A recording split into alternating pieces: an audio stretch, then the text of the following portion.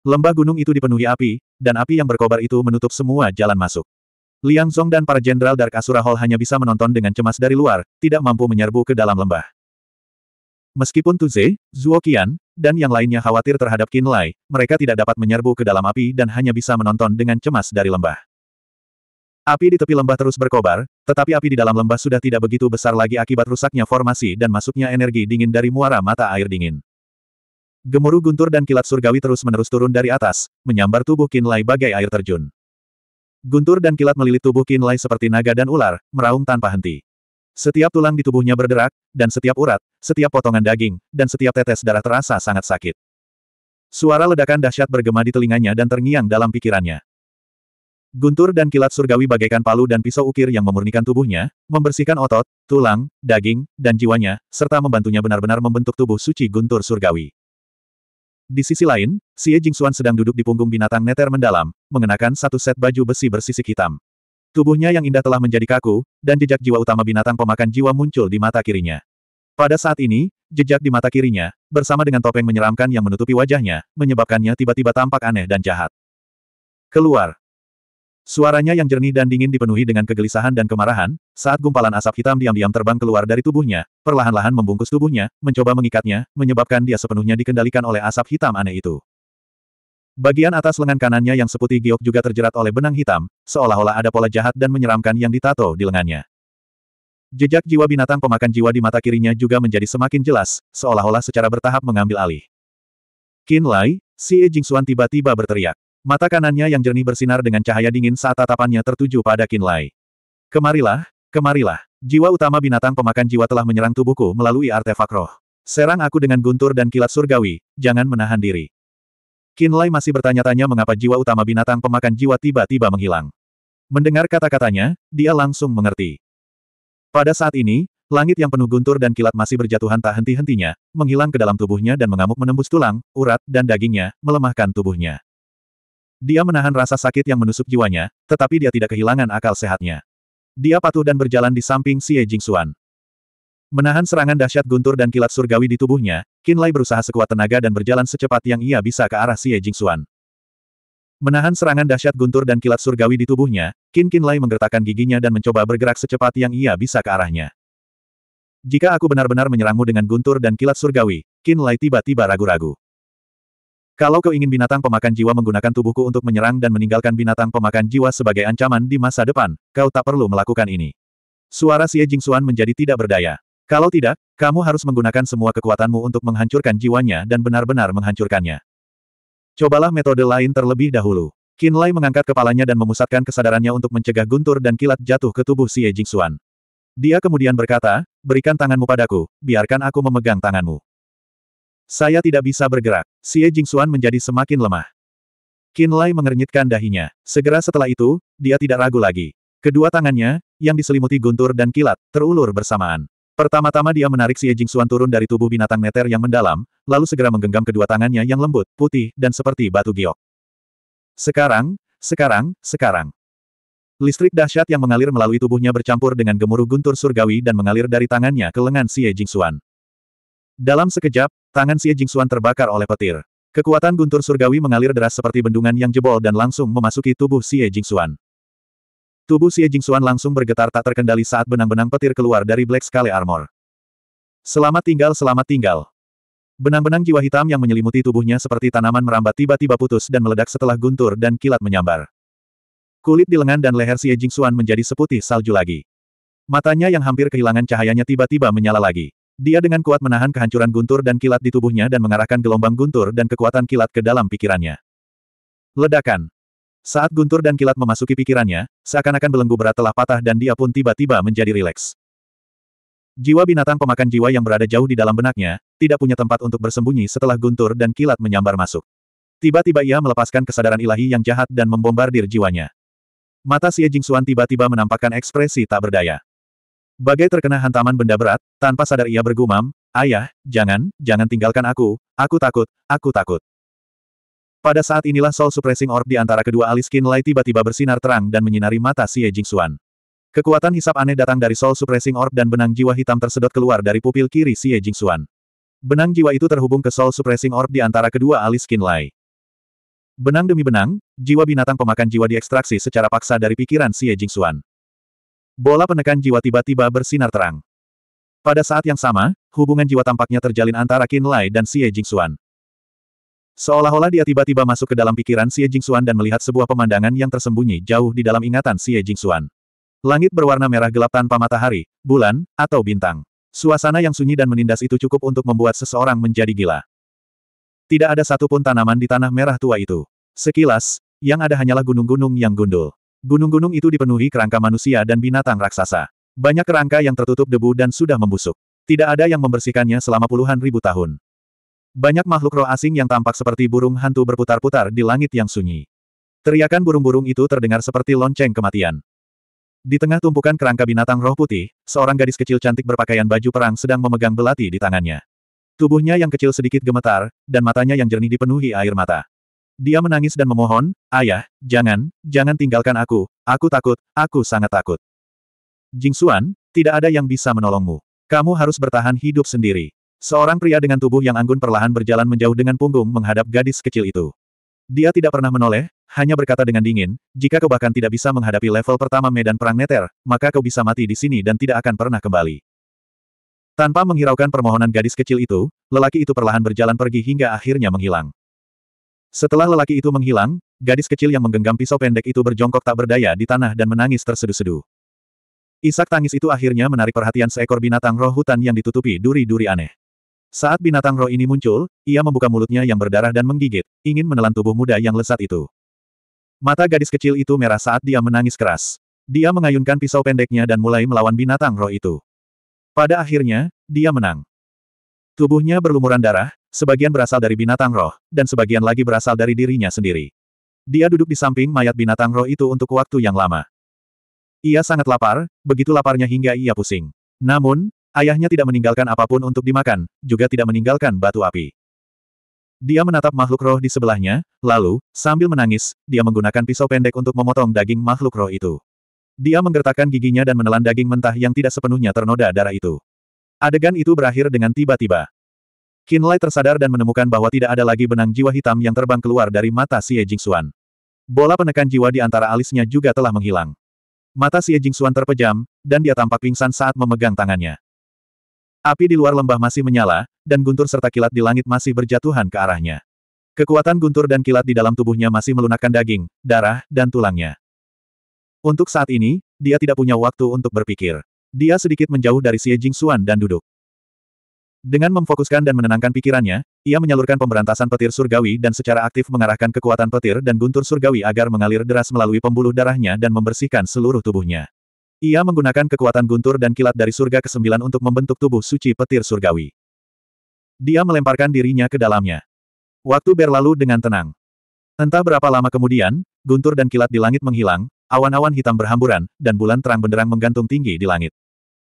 Api di dalam lembah telah padam, dan hanya api di luar lembah yang terus menyala. Api berasal dari pilar batu merah tua dan prasasti juling di dalam pilar batu. Di luar lembah, Liang Zong dan para jenderal Aula Asura kegelapan memperhatikan situasi di dalam dengan ekspresi berat. Tu Ze, Zuo Qian, dan yang lainnya juga menunggu dengan cemas. Mereka ingin tahu apakah Qin Lai baik-baik saja, tetapi karena api belum sepenuhnya padam, mereka tidak dapat memasuki lembah. Mereka hanya bisa menunggu tanpa daya. Beberapa waktu kemudian, udara dingin dari mata air dingin di dalam lembah menyebar, menyebabkan suhu di sekitar Qinlai dan Xie Jingxuan turun. Mungkin karena cuaca dingin, tetapi Xie Jingxuan adalah orang pertama yang terbangun. Ketika dia membuka matanya, matanya sebening danau, dan dia langsung melihat Qinlai duduk di depannya. Tubuh Qinlai diselimuti oleh petir dan guntur. Dia tampaknya sedang mengolah semacam seni rahasia. Tubuh utama binatang pemakan jiwa telah kehilangan semua tanda kehidupan sejak lama. Api di dalam lembah telah berangsur-angsur padam, dan hanya lingkaran api luar yang belum padam. Dia terdiam saat menyaksikan Kinlay perlahan mengenang, ekspresinya berangsur-angsur menjadi rumit. Setelah beberapa saat, dia menyentuh sabit yang menyusut itu dan mendapati semuanya normal. Diam-diam dia menghela napas lega. Kemudian, ia memeriksa kondisi tubuhnya dan mendapati bahwa seluruh tubuhnya terasa nyeri. Setiap urat nadinya terasa panas seperti akan terkoyak. Dia sedikit mengernyit dan duduk seperti Kinlay. Dia mengambil pil dan menelannya. Kemudian, dia mulai merawat tubuhnya dan memulihkan kekuatan bertarungnya sesegera mungkin. Bulan menghilang, matahari terbit, dan semua api di dalam lembah padam. Liang Zong, Tu Ze, Nuo, Xiongba, dan yang lainnya melangkah ke lembah hitam yang hangus dan tiba di area tengah di sebelah mata air dingin. Mereka segera melihat Xie Jingxuan dan Qin Lai. Keduanya memejamkan mata dan duduk saling berhadapan dengan jarak sekitar 10 meter. Mereka tampak sedang bermeditasi. Tubuh utama binatang pemakan jiwa masih berada di dekat mata air dingin. Tidak ada tanda-tanda kehidupan sama sekali, dan jelas bahwa ia telah mati sejak lama. 102. Di lembah tanpa jejak api. Liang Zong, Tu Zenuo, Xiong Ba, dan yang lainnya mengelilingi Xie Jingxuan dan Qin Lai, menatap keduanya dengan ekspresi bingung. Mereka tidak tahu apa yang telah terjadi, dan tidak berani memastikan apakah binatang pemakan jiwa telah dimurnikan hingga mati, jadi ekspresi mereka tampak berat. Ban Hong, periksa tubuh binatang pemakan jiwa dan lihat apakah ada kelainan. Liang Zong memerintahkan. Ban Hong dan tiga jenderal Dark Asura Hall yang telah memulihkan sebagian energi roh mereka mengeluarkan artefak roh mereka dan datang ke samping tubuh Soul Devouring Beast. Mereka membelah tengkorak Soul Devouring Beast dan mulai memeriksanya dengan serius. Tuan Liang, binatang pemakan jiwa sudah mati sepenuhnya. Setelah beberapa saat, Ban Hong meninggikan suaranya dan berkata, tengkoraknya disambar petir, tetapi tidak ada tanda-tanda kehidupan. Jiwa utamanya juga tidak terlihat. Aku tidak tahu apakah ia berhasil lolos. Liang Zong mengangguk dalam hati, lalu berkata, Nona kemarin berkata bahwa binatang pemakan jiwa telah menyerah pada jalur kenaikannya, jadi meskipun ia lolos, ia tidak akan mampu membawa kehancuran ke kota-kota. Semua orang menghela napas lega. Bagus, bagus. Saraf tegang Nanuo juga mengendur. Dia melihat mayat binatang pemakan jiwa, lalu menatap Xie Jingxuan dan Qin Lai. Mereka seharusnya baik-baik saja, kan? Saya baik-baik saja. Xie Jingxuan tiba-tiba membuka matanya. Lingkaran cahaya hitam dilepaskan dari Black Scale Armor di tubuhnya. Sisik yang menutupi bahu, pinggang, perut, dan kakinya meninggalkan tubuhnya sepotong demi sepotong dan menghilang ke dalam cincinnya. Armor Black Scale dilepas. Dia mengenakan pakaian hitam ketat, dan sosoknya anggun dan bergerak. Dia menyingkirkan topeng ganas itu. Wajah cantiknya sedikit pucat, tetapi menambahkan sentuhan kecantikan yang lembut padanya. Jiwa utama binatang pemakan jiwa seharusnya telah dimurnikan sampai mati. Dia menatap Qin Lai, nadanya sedikit tidak yakin. Qin Lai seharusnya akan maju ke alam pembukaan Natal. Dia berada pada tahap penting dalam membuka istana Natalnya. Begitu istana Natal terbentuk di lautan roh dan tiannya, dia akan bisa bangun. Alam pembukaan Natal. Mata semua orang dipenuhi dengan keterkejutan saat mereka tiba-tiba menatap Qin Lai. Tuze dan Zuoqian, awasi dia. Jangan biarkan siapa pun mengganggunya saat ini. Jangan berbicara dengan suara keras juga. Xie Jingxuan memberi instruksi dan tiba-tiba berdiri. Ban Hong, kalian ambil bahan-bahan roh dari tubuh binatang pemakan jiwa. Perhatikan tiga matanya dan inti binatang itu, jangan sampai rusak. Tuan, Jangan khawatir. Wajah Ban Hong berseri-seri karena kegembiraan, dan dia bergegas memimpin para jenderal Aula Asura kegelapan untuk bergerak di atas tubuh binatang pemakan jiwa dengan senjata tajam di tangan. Nona, jiwa utama binatang pemakan jiwa benar-benar telah dimurnikan hingga mati. Apakah berhasil menembusnya? Liang Zong bertanya dengan suara rendah. Saat ini, dia dan Xie Jingxuan sudah agak jauh dari kerumunan. Suara mereka direndahkan agar Tu Zenano dan yang lainnya tidak dapat mendengarnya. Saya tidak yakin. Mata Xie Jingxuan yang cerah berkedip-kedip. Ketika dia bangun, aku akan bertanya padanya dengan benar. Apakah binatang pemakan jiwa benar-benar telah dimurnikan sampai mati? Hanya dia yang akan tahu. Dia menatap Qin Lai. Apa yang terjadi? Liang Zong bertanya lagi. Itu bukan apa-apa. Xie Jingxuan mengerutkan kening, wajahnya dipenuhi dengan ketidaksabaran. Liang Zong tidak berani bertanya lebih jauh. Di dalam dunia Qin Lai. Di dalam lautan roh dan tian yang luas, energi roh bagaikan lapisan kapas putih tebal, melekat di setiap sudut. Di tengah lautan roh yang luas, sambaran petir biru mengembun dan saling terjalin, disertai gemuruh guntur, membentuk istana natal kecil yang bergantung pada keberadaan lautan roh, tetapi juga relatif membosankan. Benang-benang guntur dan kilat, bagaikan ular roh dan cacing tanah yang menggeliat, memasuki lautan roh dan tian dari luar dan terus-menerus memasuki istana natal yang terbentuk secara bertahap, membentuk penghalang kokoh, ruang kecil yang sesungguhnya.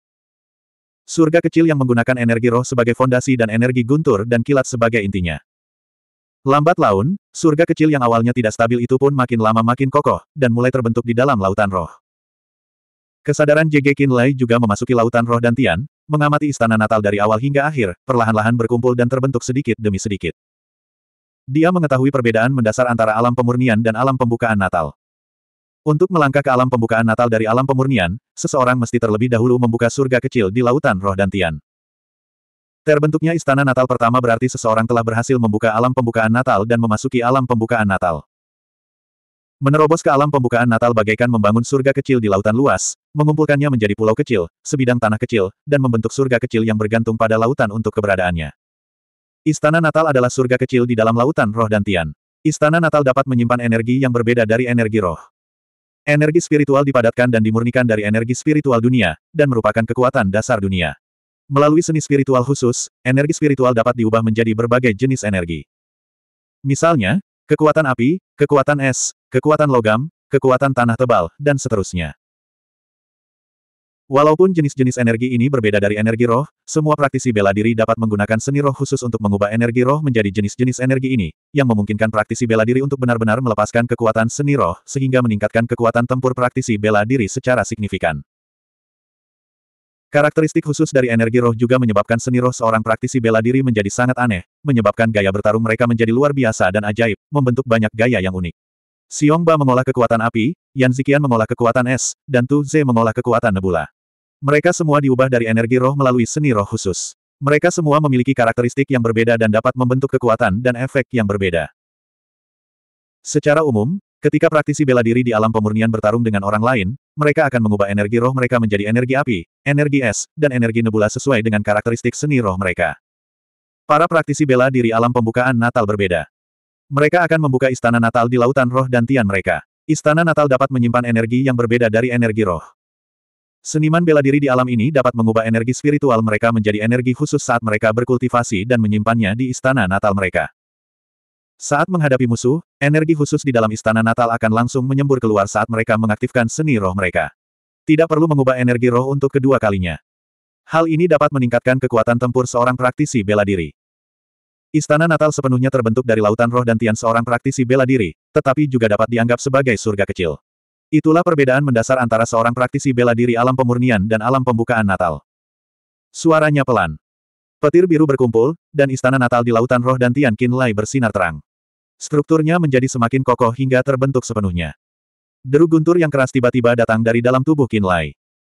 Ketika Tuze dan Zuo Qian berteriak, dia akhirnya membuka matanya.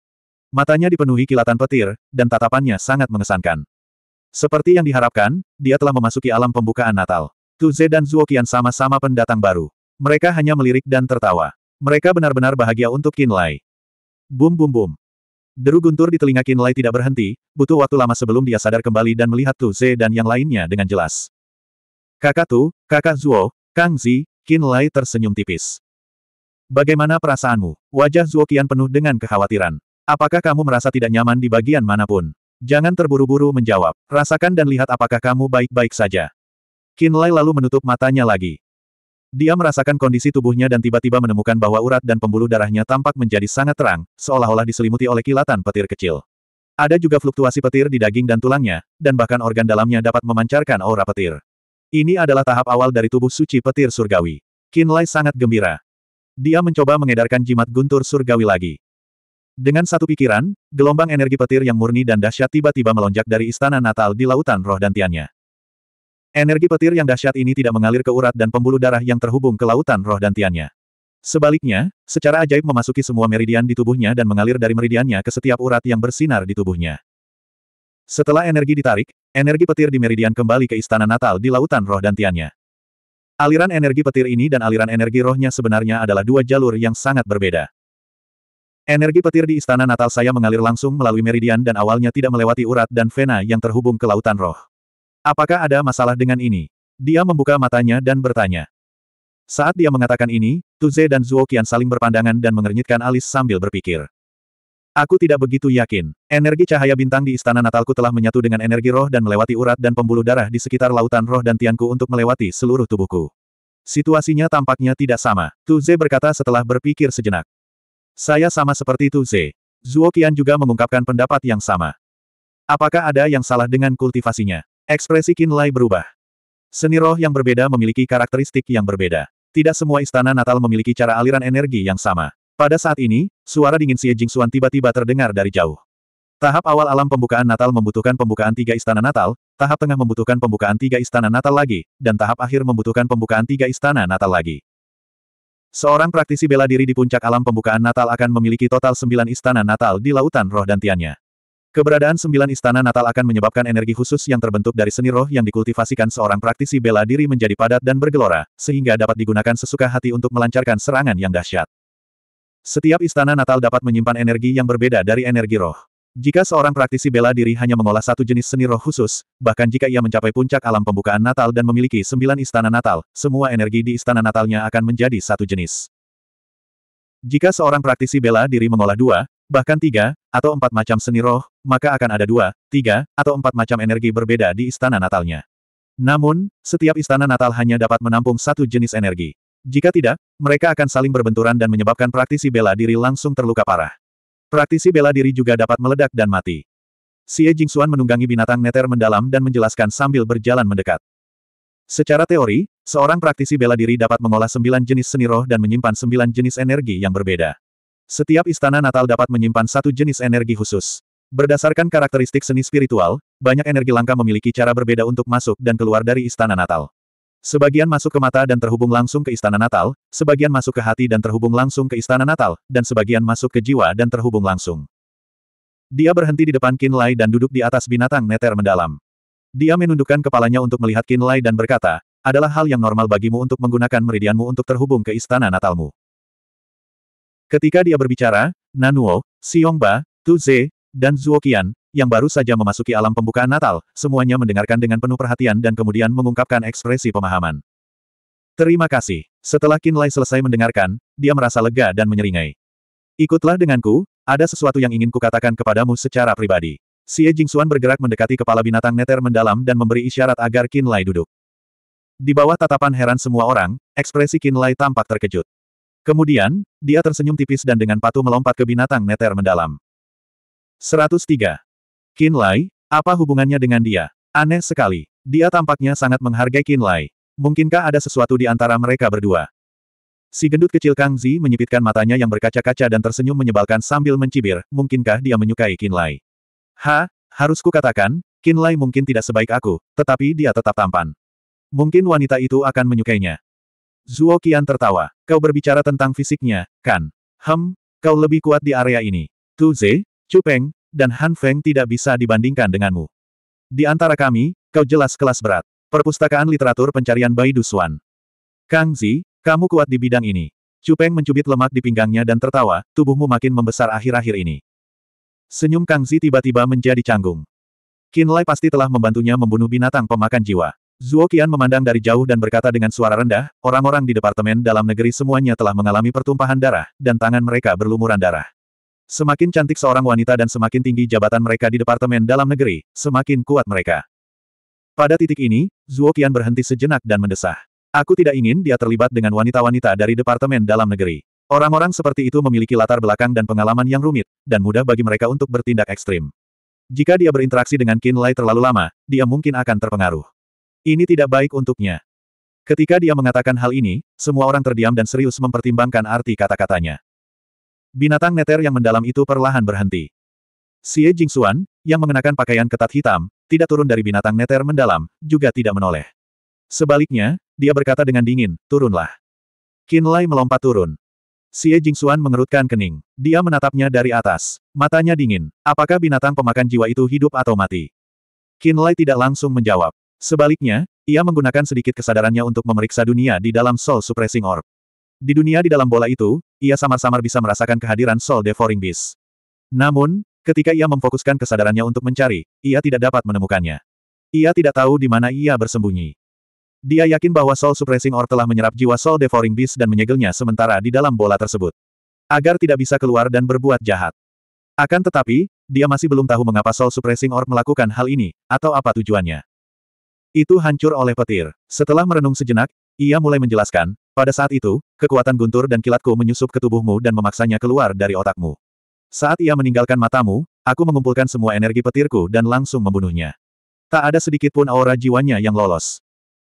Mengenai rahasia Soul Suppressing Orb, kakek Lai telah memperingatkannya dengan tegas untuk tidak mengungkapkannya apa pun yang terjadi. Jadi dia harus menyembunyikannya. Xie Jingxuan mengangkat alisnya dan menatapnya dengan dingin. Itu benar. Itu saja, ekspresi Qin Lai tenang. Xie Jingxuan terdiam. Setelah beberapa saat, dia tiba-tiba berkata, menurut akal sehatku, binatang pemakan jiwa tidak dipaksa keluar dari pikiranku oleh kekuatan guntur dan kilat. Sebaliknya, ia dihisap keluar oleh kekuatan hisap yang aneh. Meskipun pikiranku tidak jernih saat itu, setidaknya aku tahu bahwa daya isap itu berasal darimu, atau dari sesuatu di tubuhmu. Ekspresinya tiba-tiba berubah dingin dan tegas. Benarkan. Fluktuasi energi yang menindas dan menindas tiba-tiba melilit tubuh Qin Lai seperti sangkar atau belenggu. Energi ini sulit dilihat dengan mata telanjang, tetapi menyebabkan tubuh Qin Lai tiba-tiba menjadi sangat berat. Seolah-olah dia sedang membawa gunung di punggungnya, dan dia bahkan tidak bisa bergerak. Tatapan mata Xie Jingxuan dingin, dan wajahnya yang cantik dipenuhi dengan ketegasan. Sabit tajam yang mengerikan itu juga muncul di tangannya. Pada saat ini, auranya sangat mengejutkan, dan membuat Qin Lai sangat terkejut. Anda salah. Butiran keringat muncul di dahi dan leher Qin Lai, dan punggungnya sedikit gemetar. Namun, ekspresinya tidak berubah saat dia berteriak, itu hanya kesalahpahamanmu sendiri. Bunga-bunga ungu muda, yang terkondensasi dari energi murni yang dimurnikan, tiba-tiba muncul di tubuh Qin Lai. Sekilas, tubuh Qin Lai tampak telah mekar dengan bunga ungu iblis, menyebabkan kondisinya saat ini menjadi sangat aneh. Bunga iblis ungu adalah sejenis belenggu yang mengerikan, membelenggu tubuh Qin Lai dan menyegel daging dan darahnya, membuatnya sulit baginya untuk bergerak. Menurutku itu bukan kesalahpahaman. Ekspresi Xie Jingxuan dingin. Selain itu, aku merasa bahwa kamu telah mengintip ke dalam ingatanku, dan memasuki kedalaman ingatanku. Itu disebabkan oleh jiwa binatang pemakan jiwa. Qin Lai menggertakkan giginya, ekspresinya menyedihkan.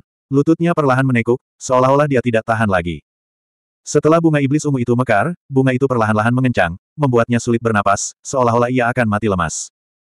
Jadi kau benar-benar memasuki kedalaman ingatanku. Apa yang kau lihat? Tatapan mata Xie Jingxuan semakin dingin. Aku melihat seorang gadis kecil yang tak berdaya, aku melihatnya ditinggalkan dengan paksa oleh ayahnya di medan perang neter, aku melihatnya bertarung sendirian melawan binatang buas dari alam neter.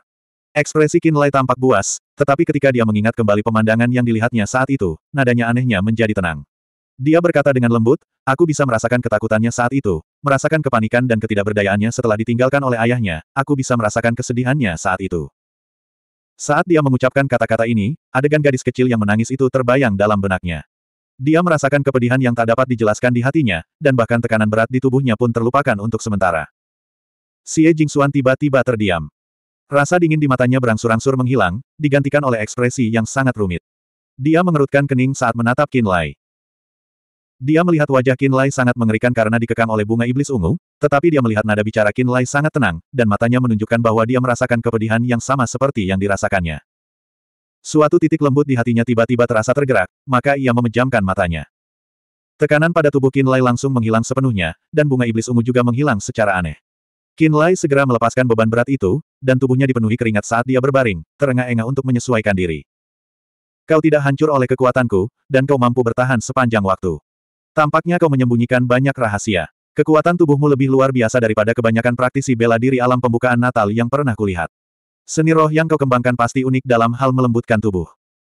Xie Jingxuan membuka matanya lagi, ekspresinya masih dingin, tetapi tidak lagi galak. Tidak peduli apa yang telah kau lakukan di belakangku, lebih baik kau bunuh saja binatang pemakan jiwa itu. Jika jiwa binatang pemakan jiwa itu keluar lagi untuk melakukan kejahatan. Dia melirik Qin Lai. Kalau begitu, aku tidak akan bertanya apa-apa lagi. Aku akan membunuhmu saja untuk mencegah masalah di masa mendatang. Setelah selesai, dia menunggangi binatang neter mendalam dan pergi. Dengan punggung menghadap Qin Lai, dia berkata, misimu kali ini sudah berakhir. Aku akan memberitahu Pavilion Nebula, dan mereka akan memberimu 10.000 poin kontribusi. 10.000 poin kontribusi. Mata Qin Lai berbinar. Tuan Liang, mengapa tidak ada satu kristal jiwa pun? Benda ini sangat langka, dan hanya binatang berjenis jiwa seperti binatang pemakan jiwa yang dapat memadatkannya. Tanpa kristal jiwa, nilai binatang pemakan jiwa akan sangat berkurang. Ban Hong dan para jenderal Dark Asura Hall membedah tubuh Soul Devouring Beast yang seperti gunung dan memilah tulang, urat, bola mata, dan giginya. Namun, mereka tidak menemukan kristal jiwa apa pun dan merasa sangat menyesal. Jika binatang pemakan jiwa dimurnikan sampai mati oleh formasi api Trigram 8 ekstrim, ingatan dan pikiran yang mengganggu dalam jiwanya akan dimurnikan, membentuk kristal jiwa murni. Semua orang tahu bahwa kristal jiwa dapat meningkatkan kekuatan jiwa, dan mereka juga tahu nilai kristal jiwa. Oleh karena itu, ketika kami bersiap untuk membunuh binatang pemakan jiwa, kami juga menggunakan formasi api 8 trigram ekstrim untuk menghadapinya. Liang Zong berdiri di samping tubuh utama binatang pemakan jiwa yang berdarah-darah itu dengan ekspresi tak berdaya. Sayangnya, segalanya tidak berjalan sesuai keinginannya. Binatang pemakan jiwa ini terbunuh oleh Guntur dan Kilat. Guntur dan Kilat adalah kutukan bagi semua jiwa jahat dan roh pendendam. Jiwa yang dihancurkan oleh Guntur dan Kilat akan langsung berubah menjadi abu, tidak meninggalkan jejak. Tentu saja, akan sulit bagi kristal jiwa untuk terbentuk. Dia melihat ke arah Gao Yu pergi. Ketika anak itu pergi, aku juga merasa aneh, tapi sekarang aku mengerti. Orang itu tahu apa yang akan terjadi pada Qin Lai dan takut guntur dan kilat akan membunuh bayangan Dewa Iblis. Karena itu, dia mengabaikan teriakan kami dan melarikan diri terlebih dahulu. Duh, Sayang sekali kalau tidak bisa memurnikan kristal jiwa. Hati Ban Hong terasa sakit. Pikirannya hanya dipenuhi kristal jiwa, dan dia tidak dapat mendengar kata-kata Liang Song. Bisa membunuh binatang pemakan jiwa saja sudah sangat beruntung. Tidak bisa mendapatkan kristal jiwa hanya berarti keberuntungan kita tidak bagus. Xie Jingxuan menunggangi binatang neter mendalam. Ia kembali bersikap dingin seperti biasa dan berkata, binatang pemakan jiwa sudah mati. Misi kita kali ini sudah selesai, dan tidak perlu tinggal lama. Kalian semua, persiapkan diri kalian. Sebentar lagi, kita akan meninggalkan lembah ini bersama-sama. Liang Zong mengerti maksudnya dan mengangguk. Ia meninggikan suaranya kepada Tu Ze, Xiongba, Nanuo, dan yang lainnya, kami akan membuka jalan di depan. Yang perlu kalian lakukan hanyalah mengikuti. Kami akan mengantar kalian keluar dari lembah yang dikelilingi oleh binatang buas ini dengan selamat. Pemahaman Nanuo, Xiongba, dan Tu Ze sepakat secara serempak. Ada tambang giok dingin mendalam di bawah mata air dingin di lembah. Tambang itu mengarah ke bawah tanah, dan seharusnya ada banyak giok dingin mendalam di sana. Xie Jingxuan menatap Tu Ze dan berkata, tambang itu ditemukan oleh kami, dan sekarang menjadi milik Paviliun Nebula untuk ditambang. Penghargaan juga akan diberikan kepada Qin Lai. Beritahu saudaramu untuk menambahkan 10.000 poin kontribusi Paviliun Nebula untuknya. 10.000 poin kontribusi. Tu Ze, Zuo Qian, Kang Zi, dan yang lainnya, serta Xiongba dari Asosiasi Api Merah dan Nanuo dari Sekte Bulan Air, semuanya berseru serempak, mata mereka terkejut. 10.000 poin kontribusi bukanlah jumlah kekayaan yang sedikit di Paviliun Nebula. Poin kontribusi sebanyak ini sudah cukup bagi Kinlay untuk menggunakan semua jenis ruang kultivasi di Paviliun Nebula, meminjam semua jenis buku tingkat tinggi dari Menara Kitab Suci, dan bahkan menukarnya dengan beberapa artefak roh kelas atas. Dua tahun lalu, di pegunungan Arktik, dia meminjam kekuatan Raja Serigala Iblis untuk melukai Yan Dewu, tetua Sateret Ice Manor, yang menyebabkan kerugian besar bagi Sateret Ice Manor. Selain itu, dia menyelamatkan Tuze dan yang lainnya lebih awal, membantu mereka membunuh beberapa praktisi bela diri Sateret Ice Manor. Jika dijumlahkan semua poin kontribusi yang telah dikumpulkannya selama beberapa tahun terakhir, totalnya hanya 3.000 poin kontribusi. Saat itu, Liu Yan telah menggunakan 2.000 poin kontribusi untuk ditukar dengan artefak roh kelas 5 umum, perisai heksagonal. 2.000 poin kontribusi itu adalah tabungannya selama beberapa tahun. Bahkan para kepala aula dan tetua paviliun nebula akan kesulitan untuk mendapatkan 10.000 poin kontribusi. Mereka membutuhkan setidaknya satu atau dua tahun. Namun, perjalanan Kinlay kali ini hanya akan memakan waktu sedikit lebih dari sebulan, namun ia telah memperoleh 10.000 poin kontribusi secara langsung. Bagaimana mereka bisa bertahan? 104. Dengan Xie Jingxuan dan Liang Zong yang memimpin jalan, gerombolan binatang roh di luar lembah tidak perlu ditakutkan. Saat sabit dan bulan cian menari-nari, daging cincang dan darah menyembur ke mana-mana saat makhluk roh dibunuh satu demi satu. Qin Lai, Tu Ze, dan orang-orang dari Sekte Bulan Air dan Asosiasi Api Merah mengikuti dari belakang. Mereka dengan mudah keluar dari pengepungan dan tiba di hutan batu di luar. Alasan mengapa binatang roh datang untuk berkultivasi adalah karena kepadatan energi roh dunia di dalam formasi api 8 trigram ekstrim. Ketika formasi api 8 trigram ekstrim meledak dan papan pengumpul roh hancur, energi roh di dalam lembah kembali normal. Binatang roh tidak lagi berlama-lama di kedalaman hutan batu. Mereka berpencar satu demi satu dan berkeliaran ke setiap sudut hutan batu, bersiap melarikan diri keluar untuk meneruskan perbuatan jahat mereka. Di tepi hutan batu, Qin Lai melihat penatua Balai Disiplin Ye Yang Qiu. Dia muncul bersama sekelompok praktisi bela diri Balai Disiplin dan Gao Yu yang berwajah pucat. Ada pula dua tetua dari Crimson Flame Association dan Water Moon Sect yang telah mendengar berita tersebut dan bersiap memasuki hutan batu untuk berburu binatang roh. Salam, Nyonya Xie. Ye Yang Qiu beserta para tetua dari Crimson Flame Association dan Water Moon Sect semuanya membungkuk sedikit ketika melihat Xie Jingxuan keluar menunggangi Profound Nether Beast. Xie Jingxuan berpakaian putih, ekspresinya dingin. Kalian datang terlambat dan tidak dapat membantuku. Untungnya, binatang pemakan jiwa telah terbunuh, jadi yang perlu kalian lakukan hanyalah membersihkan binatang roh yang tersisa. Benar, jika Sateret Ice Manor bertanya, bahkan kelompok Yan Zikian pun dicabik-cabik sampai mati oleh binatang pemakan jiwa. Selesai berbicara, dia mendesak binatang neter mendalam untuk melewati ketiga tetua dan meninggalkan hutan batu. Nanuo, Xiongba, dan Tu Ze semuanya memasang ekspresi aneh namun tak seorang pun berkata apa-apa dan bahkan mengangguk dalam hati tanda mengerti. Pada saat ini, Ban Hong dan beberapa jenderal Dark Asura Hall mengikuti dari dekat dengan unicorn mereka dan pergi. Liang Zong tetap tinggal dan berkata kepada kelompok itu, kita akan pergi ke pegunungan Arktik dan tidak akan berlama-lama di hutan batu. Karena binatang pemakan jiwa sudah mati, sisanya tidak akan sulit bagi kalian. Ye Yang Qiu mengangguk. Kami di sini untuk membunuh binatang buas yang berkumpul di hutan batu. Selama waktu ini, Ye Yang Qiu, Ge Hong dari Crimson Flame Association, dan Luo Wei dari Water Moon Sect berkeliaran di sekitar kota Ichestone, kota Crimson Flame, dan Water Moon Sect. Mereka bertanggung jawab untuk memburu binatang roh tingkat 2. Dalam setengah bulan terakhir, mereka menemukan bahwa tidak ada aktivitas binatang roh tingkat kedua. Tepat saat mereka merasa bingung, mereka menerima berita bahwa sejumlah besar binatang roh berkumpul di hutan batu di pusat tiga kota. Dia menyuruh mereka membawa anak buahnya ke hutan batu dan membantu para jenderal Aula Asura kegelapan. Namun mereka terlambat. Qin Lai, Gao Yu, kalian berdua kemarilah sebentar. Liang Zong menunggangi binatang neter mendalam dan sedikit menjauh dari kerumunan, lalu tiba di balik puncak batu. Qin Lai berjalan keluar dari sisi Tu Ze, sementara Gao Yu berjalan keluar dari kelompok kamar penyiksaan dan berdiri di belakang si Feng. Gao Yu, kamu baik-baik saja. Liang Zong bertanya sambil mengerutkan kening. Sebelumnya, Gao Yu telah meninggalkan lembah itu sendirian dan menerobos pengepungan binatang buas roh. Semua orang khawatir dia akan dicabik-cabik oleh binatang buas itu, tetapi dia masih hidup dan sehat. Aku baik-baik saja, wajah Gao Yu pucat. Dia tidak menjelaskan bagaimana dia bisa keluar dari gerombolan binatang roh itu. Sebaliknya, dia menatap Qin Lai, berpikir sejenak, lalu berkata, guntur dan kilat surgawi yang kamu panggil saat itu bisa saja memberikan pukulan yang menghancurkan bagiku. Aku harus pergi. Jika tidak, jiwaku dan bayangan di dalam cincinku bisa saja hancur. Hem, aku mengerti. Qin Lai mengangguk. Aku memanggil kalian berdua untuk memberikan sesuatu. Hem, aku sudah berjanji sebelumnya. Liang Zong tersenyum tipis. Gao Yu memanggil bayangan Dewa Iblis dan membantu kami menunda serangan jiwa jahat binatang pemakan jiwa. Itu juga membantu kita menunda serangan roh jahat binatang pemakan jiwa. Hanya saja ia mundur terlalu cepat. Kalau tidak, kita tidak akan mendapat banyak masalah. Dia kemudian menatap Qin Lai dengan tatapan aneh. Meskipun aku tidak tahu apa yang terjadi di lembah, aku tahu bahwa kamu pasti telah banyak membantu Nona. Kalau tidak, Nona tidak akan meminta Paviliun Nebula memberimu 10.000 poin kontribusi. 10.000 poin kontribusi. Ekspresi Gao Yu terkejut.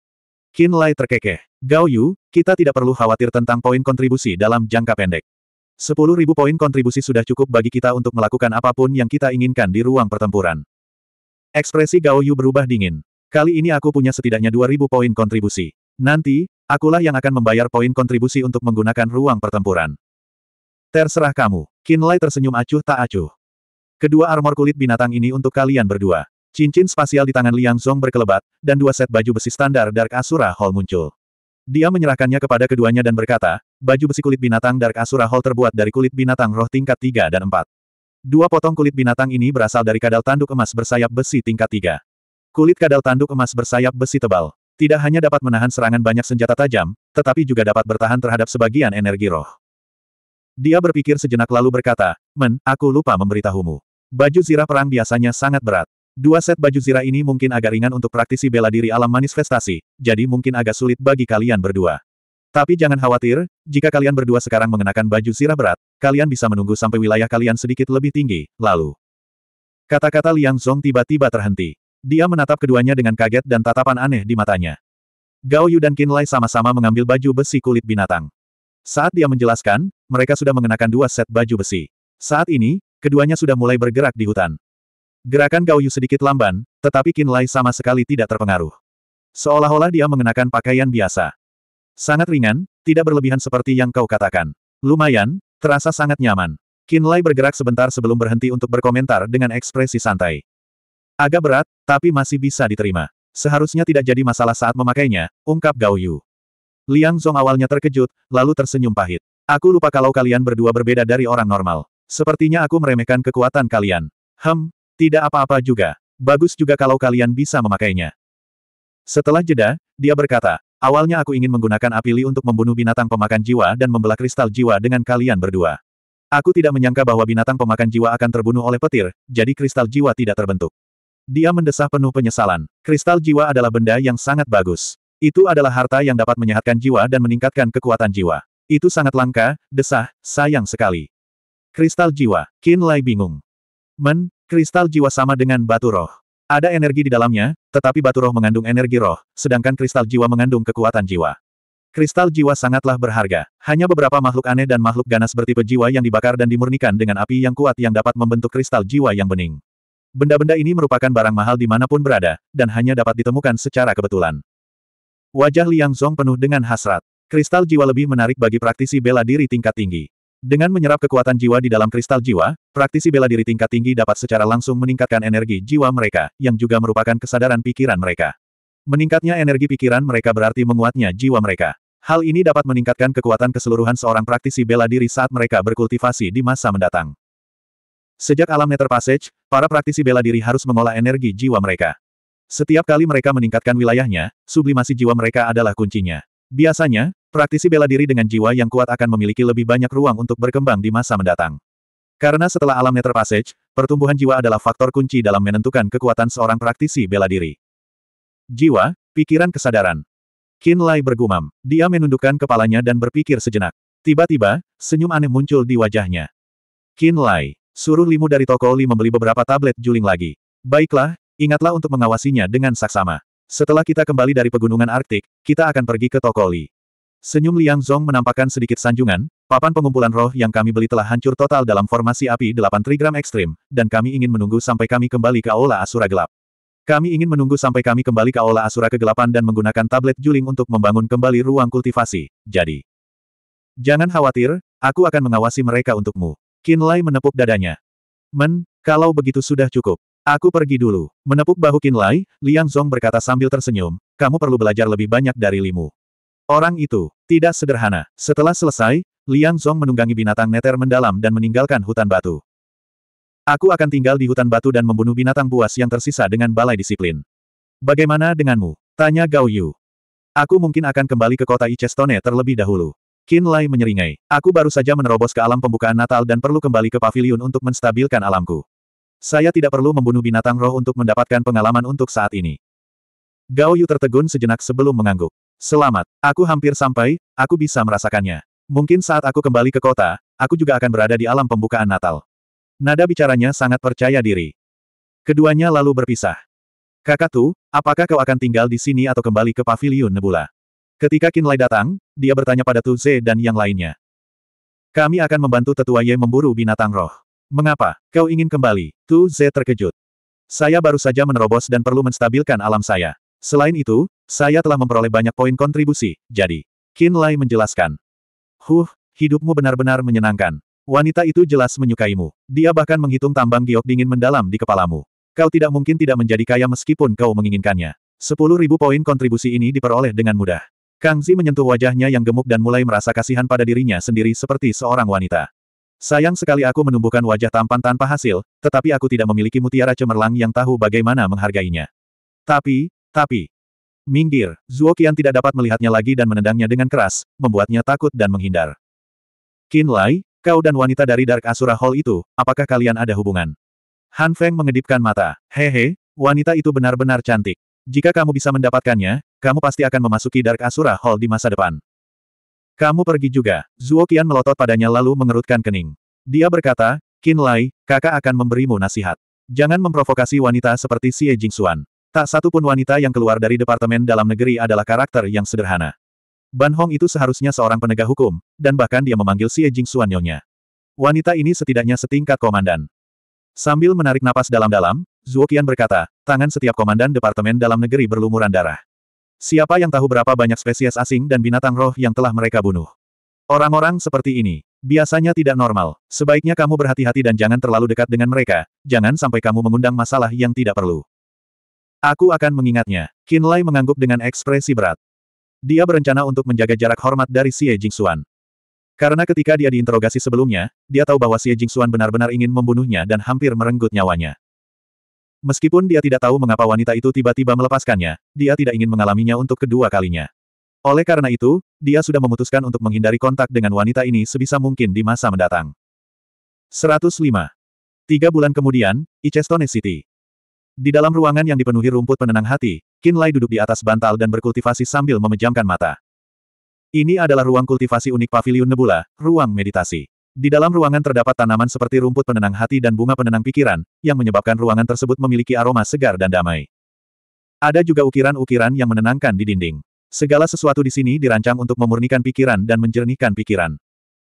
Berkultivasi di ruangan ini, selama seorang praktisi bela diri sedikit berhati-hati dan tidak mengolah seni roh jahat dan ekstrim, mereka biasanya tidak akan menjadi gila atau mudah tersinggung. Tempat ini sangat membantu dalam pengembangan berbagai seni roh, pemahaman alam, dan pemahaman yang lebih dalam tentang jalan bela diri. Berkultivasi di ruang meditasi selama satu hari menghabiskan 5 poin kontribusi. Tiga bulan hanya menghabiskan 450 poin kontribusi. Bagi Kinlay saat ini, ini bukanlah masalah besar. Setelah kembali dari hutan batu, Qin Lai menyewa ruang meditasi khusus untuk menstabilkan wilayah barunya. Dalam tiga bulan terakhir, ia fokus pada kultivasi dan merasakan keajaiban Istana Natal. Ia berkultivasi dengan keras dan mengumpulkan lebih banyak energi spiritual untuk diubah menjadi energi guntur dan kilat, mengisi Istana Natal pertamanya sedikit demi sedikit. Pada tahap awal alam pembukaan Natal, seseorang perlu membentuk tiga Istana Natal. Setiap Istana Natal harus diisi dengan energi agar memenuhi syarat untuk memasuki tahap tengah. Saat ini, dia baru saja membentuk Istana Natal pertamanya. Istana Natal ini pun belum sepenuhnya terisi oleh energi guntur dan kilat. Kultivasi bukanlah sesuatu yang dapat dicapai dalam satu langkah. Setiap langkah kemajuan membutuhkan akumulasi kekuatan dan pemahaman. Diperlukan waktu berbulan-bulan untuk berkultivasi keras agar kekuatan seseorang meningkat sedikit demi sedikit. Sudah waktunya, Lai membuka matanya, bergumam, dan berjalan keluar dari ruang meditasi. Lai, Anda keluar cukup awal hari ini. Liu Yan keluar dari ladang kultivasi dan menyapanya dengan senyuman. Situasinya cukup baik akhir-akhir ini. Para ahli dari Menara Bayangan Gelap dan Aula Asura Gelap di Lembah Kisah telah pindah bersama. Mereka semua telah menyerbu ke pegunungan Arktik dan kita perlahan-lahan mulai menguasainya. Kalau begini terus, tak lama lagi kita bisa memperbarui kontrak dengan makhluk roh pegunungan Arktik. Baguslah. Banyak orang sudah meninggal. Lebih baik mengakhiri ini lebih awal. Lai mengangguk dan bertanya, Gao Yu belum kembali, begitu pula Tu Ze dan yang lainnya. Setelah semua binatang roh di hutan batu terbunuh, semua binatang roh di hutan batu pun menghilang. Gao Yu, Tu Ze, dan yang lainnya semuanya pergi ke tepi pegunungan Arktik dan bertemu dengan Chuyan, Wei Xing, dan Du Haitian. Liu Yan berjalan mendekat sambil tersenyum dan berkata, si bocah Gao Yu itu tampaknya akan segera menerobos ke alam pembukaan Natal, dan dia sudah mengumpulkan 2.500 poin kontribusi. Orang itu cukup hebat. Mereka berdua mengobrol sambil berjalan keluar. Tepat saat dia keluar dari area kultivasi yang luas, salah satu praktisi bela diri Pavilion Nebula yang bertanggung jawab untuk menjaga tempat itu berteriak. Qin Lai, benar. Tetuahan ingin kamu melakukan perjalanan setelah kamu keluar. Tampaknya seseorang sedang mencarimu dan telah mengirimimu sesuatu. Aku pergi duluan. Lai mengucapkan selamat tinggal pada Liu Yan. Tidak lama kemudian, dia tiba di tempat Han Qingrui. Begitu dia masuk, dia melihat beberapa pemuda berjubah emas duduk di ruangan itu. Di bagian dada pakaian para pemuda ini, hanya dengan pandangan sekilas, Lai tahu bahwa mereka datang dari lembah iblis emas di lembah kisah. Lai, datanglah dan temui teman-teman kita dari lembah kisah. Mereka berasal dari lembah iblis emas dan sedang menuju pegunungan Arktik untuk berpartisipasi dalam perang. Mereka datang ke kota Icestone untuk mengantarkan sesuatu kepadamu dalam perjalanan. Wajah Han Qingrui sedikit muram. Dia tampaknya tidak tertarik pada orang-orang itu. Ketika Qin Lai datang, dia menunjuk ke satu orang dan berkata, ini adalah Li Zongzeng, murid termuda dari kepala lembah iblis emas. Dialah yang datang untuk mengantarkan sesuatu untuk Lin Yusi. Kamu adalah bocah nakal yang dulu pernah bertunangan dengan Qin Lai dan adik Ling. Li Zongzeng menatap Qin Lai dari ujung kepala sampai ujung kaki dan menggelengkan kepalanya dengan ekspresi dingin. Dia berkata, aku benar-benar tidak mengerti mengapa adik Ling menginginkan karakter kecil sepertimu. Tanpa menunggu Qin Lai berbicara, dia meletakkan sebuah bungkusan di atas meja. Dia langsung berdiri dengan ekspresi tidak sabar. Adik Ling memintaku untuk memberikan ini kepadamu. Dia baru saja memasuki tahap tengah alam pembukaan Natal dan tidak dapat berpartisipasi dalam pertempuran pegunungan Arktik seperti kita. Jadi dia memintaku membawakannya kepadamu. Sambil menatap dingin ke arah Qin Lai, Li Zongzeng mengerutkan kening dan berkata, menyerahlah setelah meminumnya. Adik Ling sangat berbakat dan kecepatan kultivasinya juga cepat. Dia bukanlah seseorang yang bisa kau tingkatkan. Baiklah, sebaiknya kau tinggal saja di Nebula Pavilion dan jalani hidupmu. Jangan berharap banyak pada junior Sister Ling, atau akan terjadi bencana berdarah di masa depan. Setelah dia selesai berbicara, dia dan para pemuda lainnya dari lembah iblis emas bahkan tidak melirik Han Qingrui sedikit pun saat mereka berjalan keluar. Bahkan sekarang, Adik Ling masih tidak bisa melupakan bocah nakal ini dan tidak memberi kesempatan pada kakak Li. Kalau bukan karena kita akan melewati kota Icestone dan dia punya keperluan dengan kita, dia tidak akan memperhatikan kakak Li. Seseorang bergumam, sial, jadi ini semua gara-gara bocah ini. Seorang pria dari pasukan Limestone, dan dia masih belum melupakannya. Dia benar-benar gigih. Ayo, aku sudah kesal karena kamu harus melakukan perjalanan untuk karakter sekecil itu. Jangan bertele-tele, Li Zongzeng mendengus. Kelompok itu perlahan berjalan semakin jauh. Abaikan saja mereka. Mereka hanya sekelompok junior yang tidak tahu betapa luasnya langit dan bumi. Orang-orang ini lahir di lembah tujuh iblis karena ayah mereka juga ada di lembah tujuh iblis. Kalau bukan karena ayah mereka, mereka tidak ada apa-apanya dan tidak akan pernah mencapai taraf kultivasi mereka saat ini. Han Qingrui menghibur. Wajah Qin Lai menjadi gelap saat dia mengangguk dan berkata, Jangan khawatir, Paman Han. Orang seperti ini tidak akan bisa mengacaukan hatiku atau memengaruhiku. Men, itu bagus. Han Qingrui tersenyum lega. Gadis itu ada di lembah kisah, tetapi dia masih memikirkanmu dan mengirim surat setiap bulan. Ini sudah cukup untuk membuktikan perasaannya padamu. Kau benar-benar hebat, nak. Qin Lai membuka bungkusan itu dan melihat sepucuk surat, beberapa botol dan toples, serta puluhan batu roh umum kelas 5 dan 6. Dia tidak menghindari timbulnya kecurigaan dan membaca surat itu di depan Han Qingrui. Ling Yusi telah memberinya tiga resep untuk menempa tubuh. Botol-botol dan toples-toples itu adalah obat-obatan spiritual utama yang dapat membantunya menempa tubuhnya. Selain itu, ada juga beberapa pil obat yang dapat membantunya menerobos ke alam pembukaan natal dan batu-batu spiritual untuk kultivasi.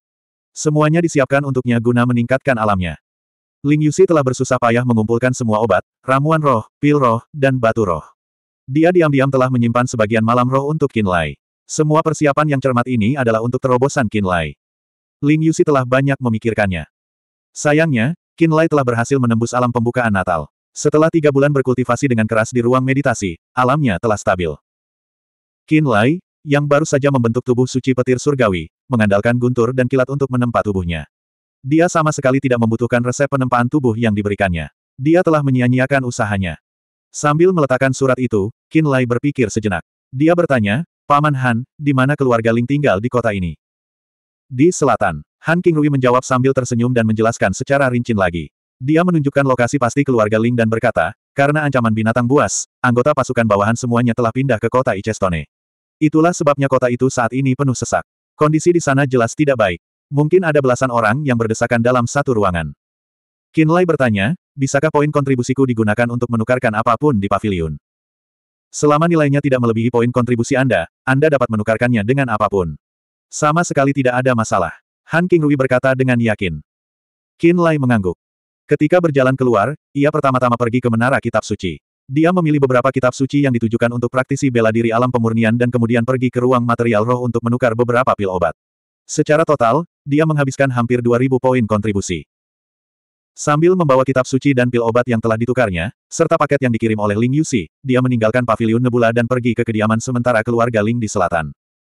Dua jam kemudian, dia tiba di depan sebuah halaman yang bobrok di bawah tatapan terkejut seorang pelayan tua keluarga Ling. Dia memasuki halaman. Anggota keluarga Ling yang familiar masuk dan keluar dari halaman ini. Banyak ruangan yang ditampung belasan orang. Orang tua, anak-anak, dan wanita dikelompokkan bersama dan hanya bisa tinggal di satu ruangan. Halamannya kotor dan berantakan, dan lingkungannya sangat buruk. Qin Lai Ling Chengzi berseru pelan. Ekspresinya sedikit bangga saat dia tanpa daya berjalan keluar dari ruangan dan berkata, tidak ada jalan lain. Keluarga Ling ditugaskan di sini. Tentu saja tidak baik bagi sebuah kota untuk tinggal di halaman seperti itu. Huh, tidak apa-apa asalkan mereka bisa memasuki kota. Jika mereka memasuki kota, setidaknya hidup mereka akan aman. Sulit untuk mengatakan apakah mereka berada di kota keluarga Ling. Lai tahu bahwa karena semua anggota pasukan bawahan telah memasuki kota, setiap ruangan di kota Ichestone menjadi sangat berharga. Sudah tidak mudah bagi keluarga Ling untuk ditempatkan di halaman. Banyak orang bahkan tidak memiliki tempat untuk tidur dan hanya dapat menemukan tempat untuk bertahan hidup di bawah pohon-pohon di jalanan. Paman Ling, apakah Ling Feng dan yang lainnya ada di sini? Lai mengangguk. Ya, Anda datang pada waktu yang tepat, mereka ada di sini. Namun, dalam tiga hari, mereka akan meninggalkan kota. Mereka telah diberi misi oleh pavilion dan akan bertempur di luar kota. Ling Chengzi memaksakan senyum dan berkata, kakak laki-lakiku pergi untuk meminta bantuan dan tidak ada di sini sekarang.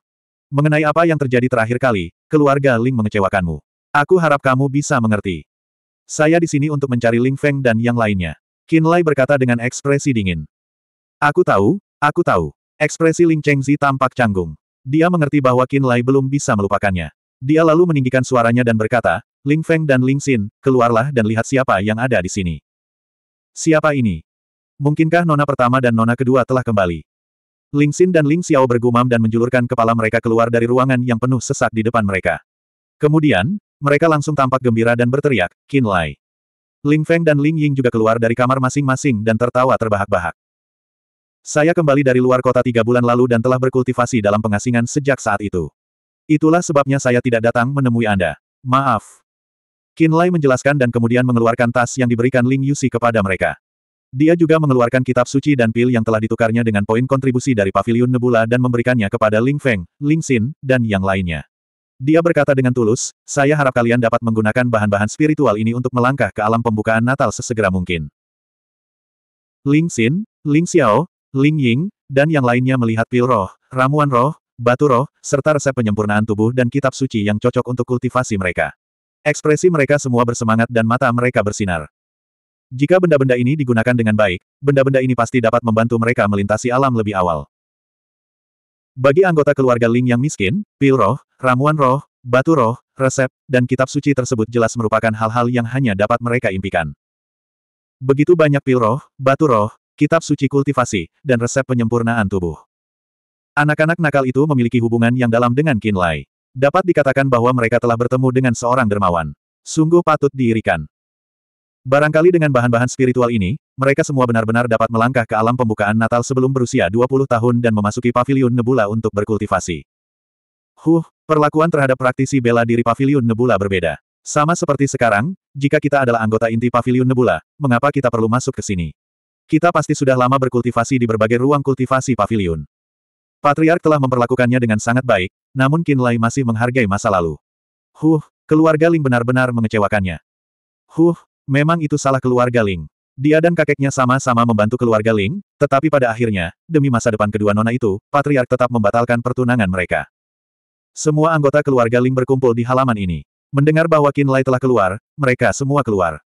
Melihat Qin Lai mengeluarkan material roh, pil roh, batu roh, dan kitab suci, ekspresi orang-orang ini semua terguncang. Mereka semua berbisik satu sama lain dan berdiskusi, menatap Ling Xin dan yang lainnya dengan tatapan penuh iri. Ling Chengzi berdiri di sana dan tiba-tiba tersipu. Dia terbatuk sekali dan dengan canggung kembali ke kamarnya. Dia tidak lagi punya muka untuk tinggal di sini.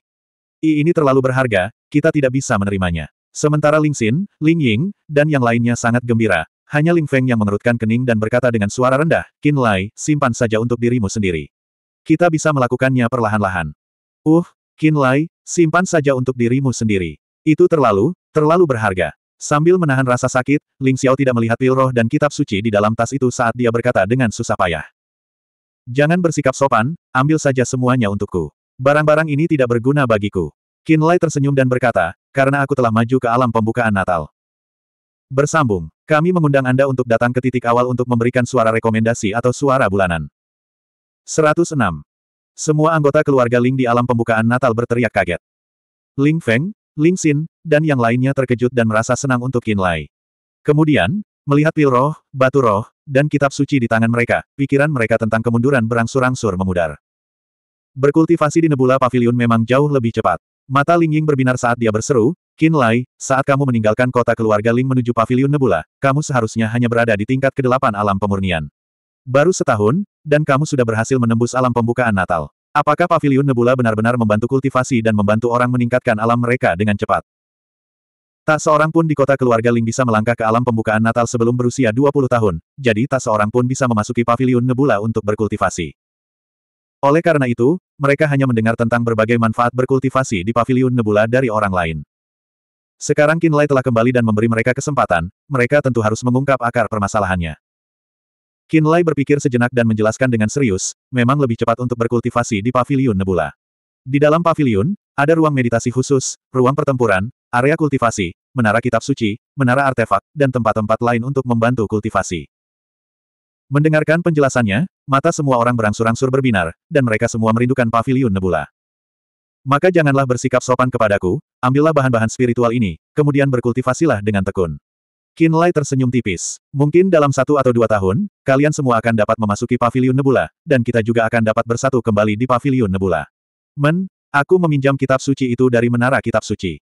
Jangan merusaknya. Aku akan datang lagi setelah beberapa saat, mengambil kitab suci lama, dan memberimu beberapa yang baru. Ling Feng berteriak, kalau begitu kami tidak akan sopan padamu. Ling Xin berkata dengan berat. Mereka semua diam-diam bersyukur. Setelah mengobrol dengan mereka sebentar, Kinlay segera mengucapkan selamat tinggal dan pergi. Setelah keluar dari rumah halaman. Satu jam setelah dia pergi, kepala keluarga Ling, Ling Chengye, kembali dengan alis berkerut. Dia segera mengetahui dari Ling Chengzi bahwa Kinlay telah datang, dan bahwa Kinlay telah memberikan banyak pil roh dan batu roh kepada Ling Feng dan yang lainnya. Di rumah kumuh itu, kepala keluarga Ling mendesah pelan. Sayang, kita memang mengecewakannya. Itu semua sudah berlalu. Wajah Ling Chengzi juga dipenuhi dengan ketidakberdayaan. Tak lama kemudian, dia bertanya, kakak, bagaimana penyelidikannya? Kita akan pergi ke tepi pegunungan Arktik. Daerah itu sekarang dikelola oleh wakil kepala pavilion Liu Yuntao, Du Haitian, dan Wei Xing. Saya khawatir Du Haitian akan mengambil kesempatan untuk menjebak keluarga Ling kita lagi. Patriark keluarga Ling mengerutkan kening dengan khawatir. Saat ini, pertempuran kita dengan binatang buas dari pegunungan Arktik sedang dalam momen yang menegangkan dan serius. Keluarga Ling adalah pasukan bawahan Pavilion Nebula, dan anggota klan mereka telah pindah ke kota Ichestone. Mereka yang memiliki kemampuan tempur pasti harus memikul tanggung jawab, dan tidak mungkin mereka bisa menolak. Yusi dan Suan-Suan telah diterima sebagai murid oleh Nenek Jiu, namun Duhai Tian masih berani berurusan dengan kita. Dia tahu betul betapa kami membencinya. Permusuhan antara kedua belah pihak telah lama tidak dapat didamaikan dan mustahil untuk diselesaikan. Karena itu, dia pasti akan memikirkan segala cara untuk menghancurkan keluarga Ling kita. Mata patriar keluarga Ling dipenuhi dengan niat membunuh. Meskipun Nenek Jiu adalah penguasa lembah Yamavian, Paviliun Nebula bukanlah kekuatan bawahan lembah Kisah, dan dia tidak dapat mengendalikan Duhai Tian. Jika dia benar-benar ingin berurusan dengan Duhai Tian, dia malah akan dikecam oleh Aula Asura Kegelapan. Untuk saat ini, kita tidak dapat meminjam kekuatannya. Kalau begitu, kita hanya bisa berhati-hati. Ling Chengzi berkata tanpa daya.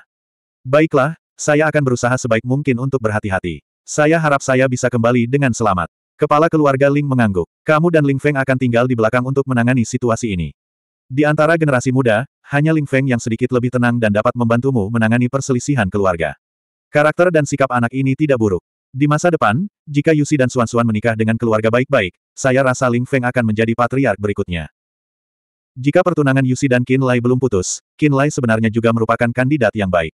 Kata Ling Chengxi. Ketika kata-kata ini keluar, patriark keluarga Ling menghela nafas tak berdaya lagi. Dia menggelengkan kepalanya dan tidak mengatakan apa pun lagi tentang topik ini. Paman Li, Anda sangat santai. Jalan perdagangan, di depan toko Li, Qin Lai tertawa keras dan melangkah masuk. Di malam hari, di dalam toko Li yang terpencil, Limu adalah satu-satunya yang meringkuk di kursi goyang, dengan malas melihat keluar dengan mata menyipit. Di halaman belakangnya, anjing serigala besar itu tengah meringkuk di bawah naungan pohon, sambil memejamkan mata dan beristirahat. Lumayan, Anda telah memasuki alam pembukaan Natal. Limu tersenyum tipis, lalu duduk tegak, mengamati Qin Lai dengan mata menyipit. Berapa banyak istana Natal yang telah kamu buka? Hanya satu. Men, kalau begitu berkultivasilah dengan giat dan cobalah untuk membuka tiga istana Natal sesegera mungkin. Kekuatan guntur dan kilat yang tersimpan di tiga istana Natal akan menjadi tiga kali lebih banyak dari yang Anda miliki sekarang. Ini berarti kekuatan tempur Anda akan meningkat pesat. Li dia mengangguk. Paman Li, bagaimana Anda tahu bahwa saya memiliki kekuatan guntur dan kilat? Qin Lai terkejut. Haha, Limu tersenyum dan tiba-tiba mengeluarkan selembar kertas kuning dari balik lemari dan menyerahkannya kepadanya. Saya baru saja membeli ini. Mungkin ini berguna bagi Anda. Anda dapat mencobanya. Anggap saja ini sebagai penempaan artefak pertama Anda. Kinlay mengambil kertas kuning itu dan melihat ke bawah. Ia menemukan banyak material spiritual yang tertulis di atasnya, dua potong kristal bumi, empat tile emas pasir hisap, satu potong batu awan tinta, lima tile besi mendalam. Kinlay tidak mengerti apa ini. Itu adalah daftar bahan roh tambahan yang dibutuhkan untuk menempa bom mendalam Terminator. Limu menjadi serius. Benda ini adalah artefak roh yang dapat digunakan dalam satu serangan. Benda ini dapat menyebabkan ledakan besar dan sangat kuat. Bahan-bahan roh tambahan yang dibutuhkan untuk menempa bom Terminator yang mendalam tidaklah langka. Gudang penyimpanan Nebula Pavilion seharusnya memilikinya. Anda hanya perlu menyiapkan bahan utama yang mengandung kekuatan guntur dan kilat, dan Anda seharusnya dapat menyiapkan semua bahan yang Anda butuhkan. Bagaimana dengan diagram roh? Tanya Kinlay. Dia meneruskan membaca, kata Limu. Kinlay terus membaca. Kemudian, ekspresinya berubah dan dia diam-diam terkejut. Dengan empat diagram roh dasar pengumpulan roh, penyimpanan roh, penguatan, dan amplifikasi sebagai intinya, diagram roh amplifikasi terus meningkatkan energi guntur yang masuk dan menstimulasi energi guntur dan kilat di dalam material utama. Energi guntur yang diperkuat tiba-tiba menyerbu ke dalam diagram penyimpanan roh yang belum lengkap. Diagram penyimpanan roh tidak dapat menahannya dan hanya dapat meledak dari dalam, yang memungkinkan bom Terminator yang mendalam untuk langsung membentuk kekuatan penghancur yang dahsyat. Matanya berbinar. Jadi terkadang penempaan artefak tidak memerlukan diagram roh yang lengkap. Diagram spirit storage yang rusak dan tidak lengkap. Karena tidak dapat menyerap energi guntur dan kilat yang telah diperkuat berkali-kali.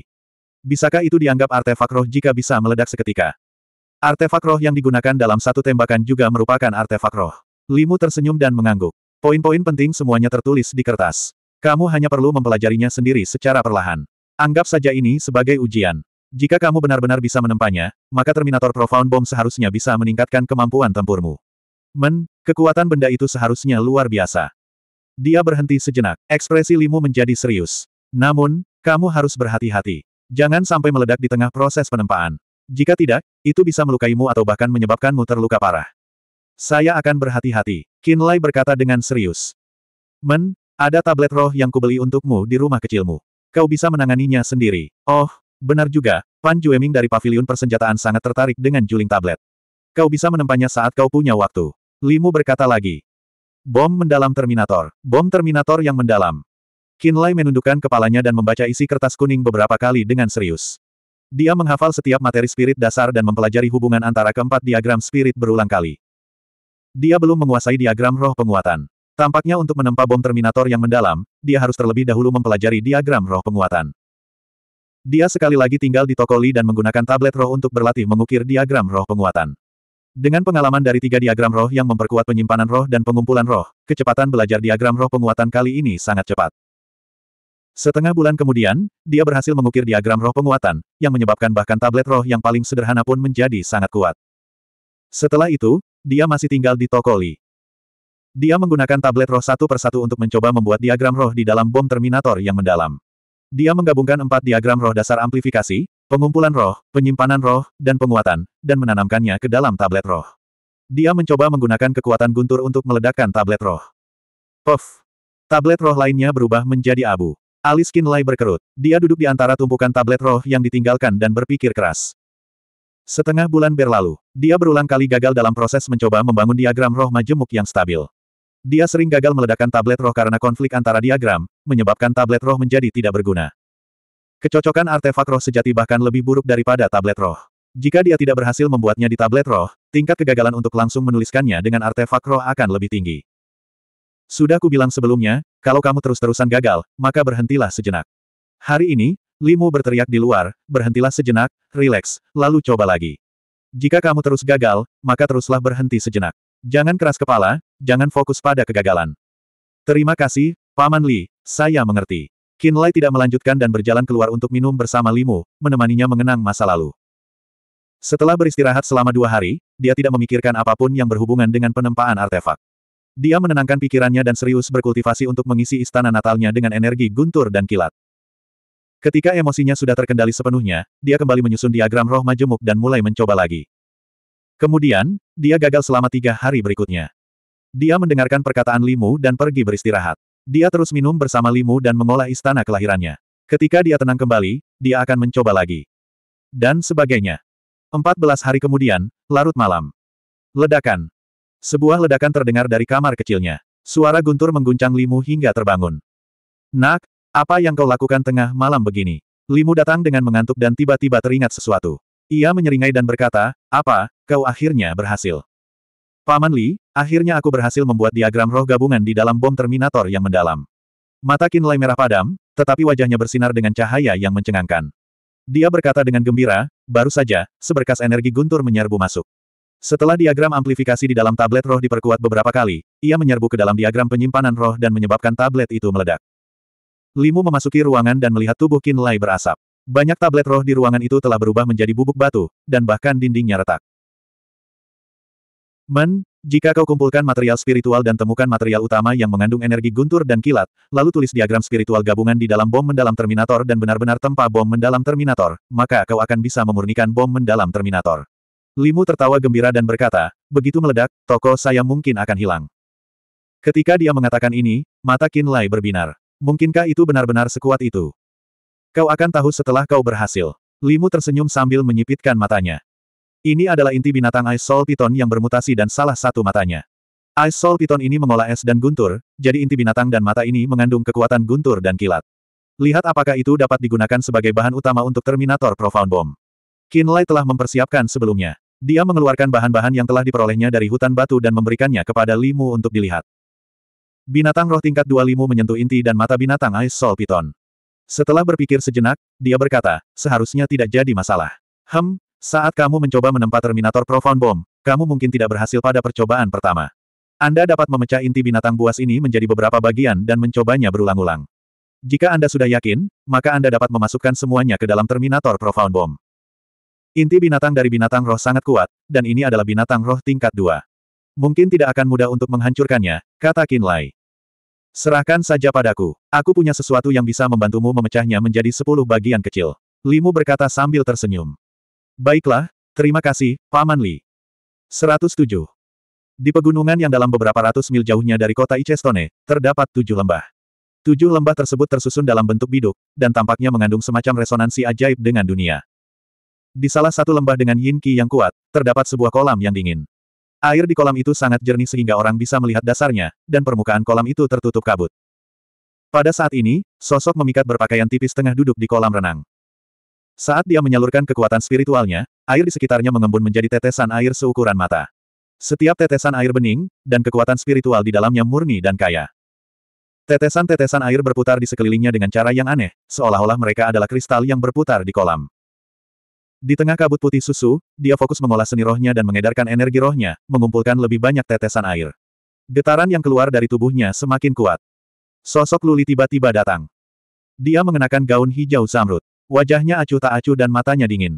Setelah menatap kolam beberapa saat, dia tiba-tiba berkata, sebenarnya, bakat kultivasimu lebih baik daripada adikmu.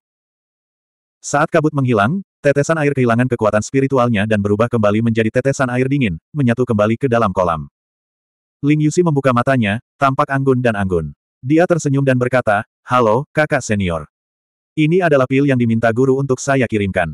Luli meletakkan botol dan mengerutkan kening. Jangan sembunyikan pil. Aku mungkin tidak akan melindungimu lain kali. Aku akan memberitahu Tuan. Emosinya tidak baik. Ling Yusi duduk di tengah kolam dan mendesah pelan. Kakak senior, maafkan aku. Pil yang dikirim guru terlalu banyak untukku. Aku tidak bisa menghabiskan semuanya. Aku hanya tidak ingin menyia-nyiakannya. Kamu tidak ingin menyia-nyiakannya. Wajah Luli menjadi dingin. Sebagai murid pribadi guru, kita bisa boros dengan bahan kultivasi kita. Bahkan jika kita minum terlalu banyak pil roh, itu tidak akan memengaruhi tubuh kita. Berhenti sejenak, dia mendengus dan berkata, kau pikir aku tidak tahu ke mana perginya semua pil tersembunyimu itu. Ling Yusi menundukkan kepalanya dan tidak menjelaskan. Anak bernama Qin Lai itu sama sekali tidak bisa mengimbangimu. Dalam keadaan normal, dia akan membutuhkan setidaknya belasan tahun untuk menerobos ke alam manifestasi dan memasuki aula Asura kegelapan, yang berada pada level yang sama dengan lembah kisah.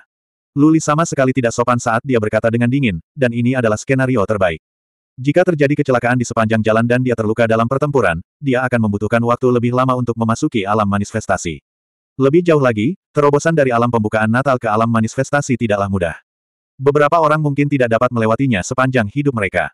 Apakah kau akan menunggunya seumur hidupmu? Teriak Luli. Menurut kakak senior, apa yang harus kulakukan? Ling Yusi mengangkat kepalanya. Ekspresinya alami, tidak terpengaruh oleh kata-katanya. Lupakan dia, kata Lu Dao. Ling Yusi tersenyum lembut dan menggelengkan kepalanya. Bagaimana kalau aku tidak bisa melupakannya? Membunuhnya juga tidak apa-apa. Wajah Luli dingin. Dengan bakat dan talentamu, masa depanmu tidak terbatas. Jangan mengacaukan pikiranmu demi seorang pria. Jika aku jadi kamu, aku akan membunuhnya dan memfokuskan seluruh energiku untuk memajukan kerajaanku. Tujuanku adalah mengejar jejak langkah guru. Sudahlah, jangan bahas topik ini. Ling Yusi tidak tahu apakah harus tertawa atau menangis. Di matanya, Luli adalah wanita gila, wanita gila kultivasi yang bisa menyerahkan segalanya demi kemajuan wilayahnya. Kakak senior, kau akan mewakili lembah ke pegunungan Arktik. Tolong bantu aku melihat bagaimana keadaan keluarga Ling. Men, kalau bisa, bantu aku melihat Qin Lai juga. Aku ingin tahu bagaimana keadaannya. Kau benar-benar tidak punya harapan. Wajah Luli dingin. Dia tidak mengatakan apa pun lagi dan berbalik untuk pergi.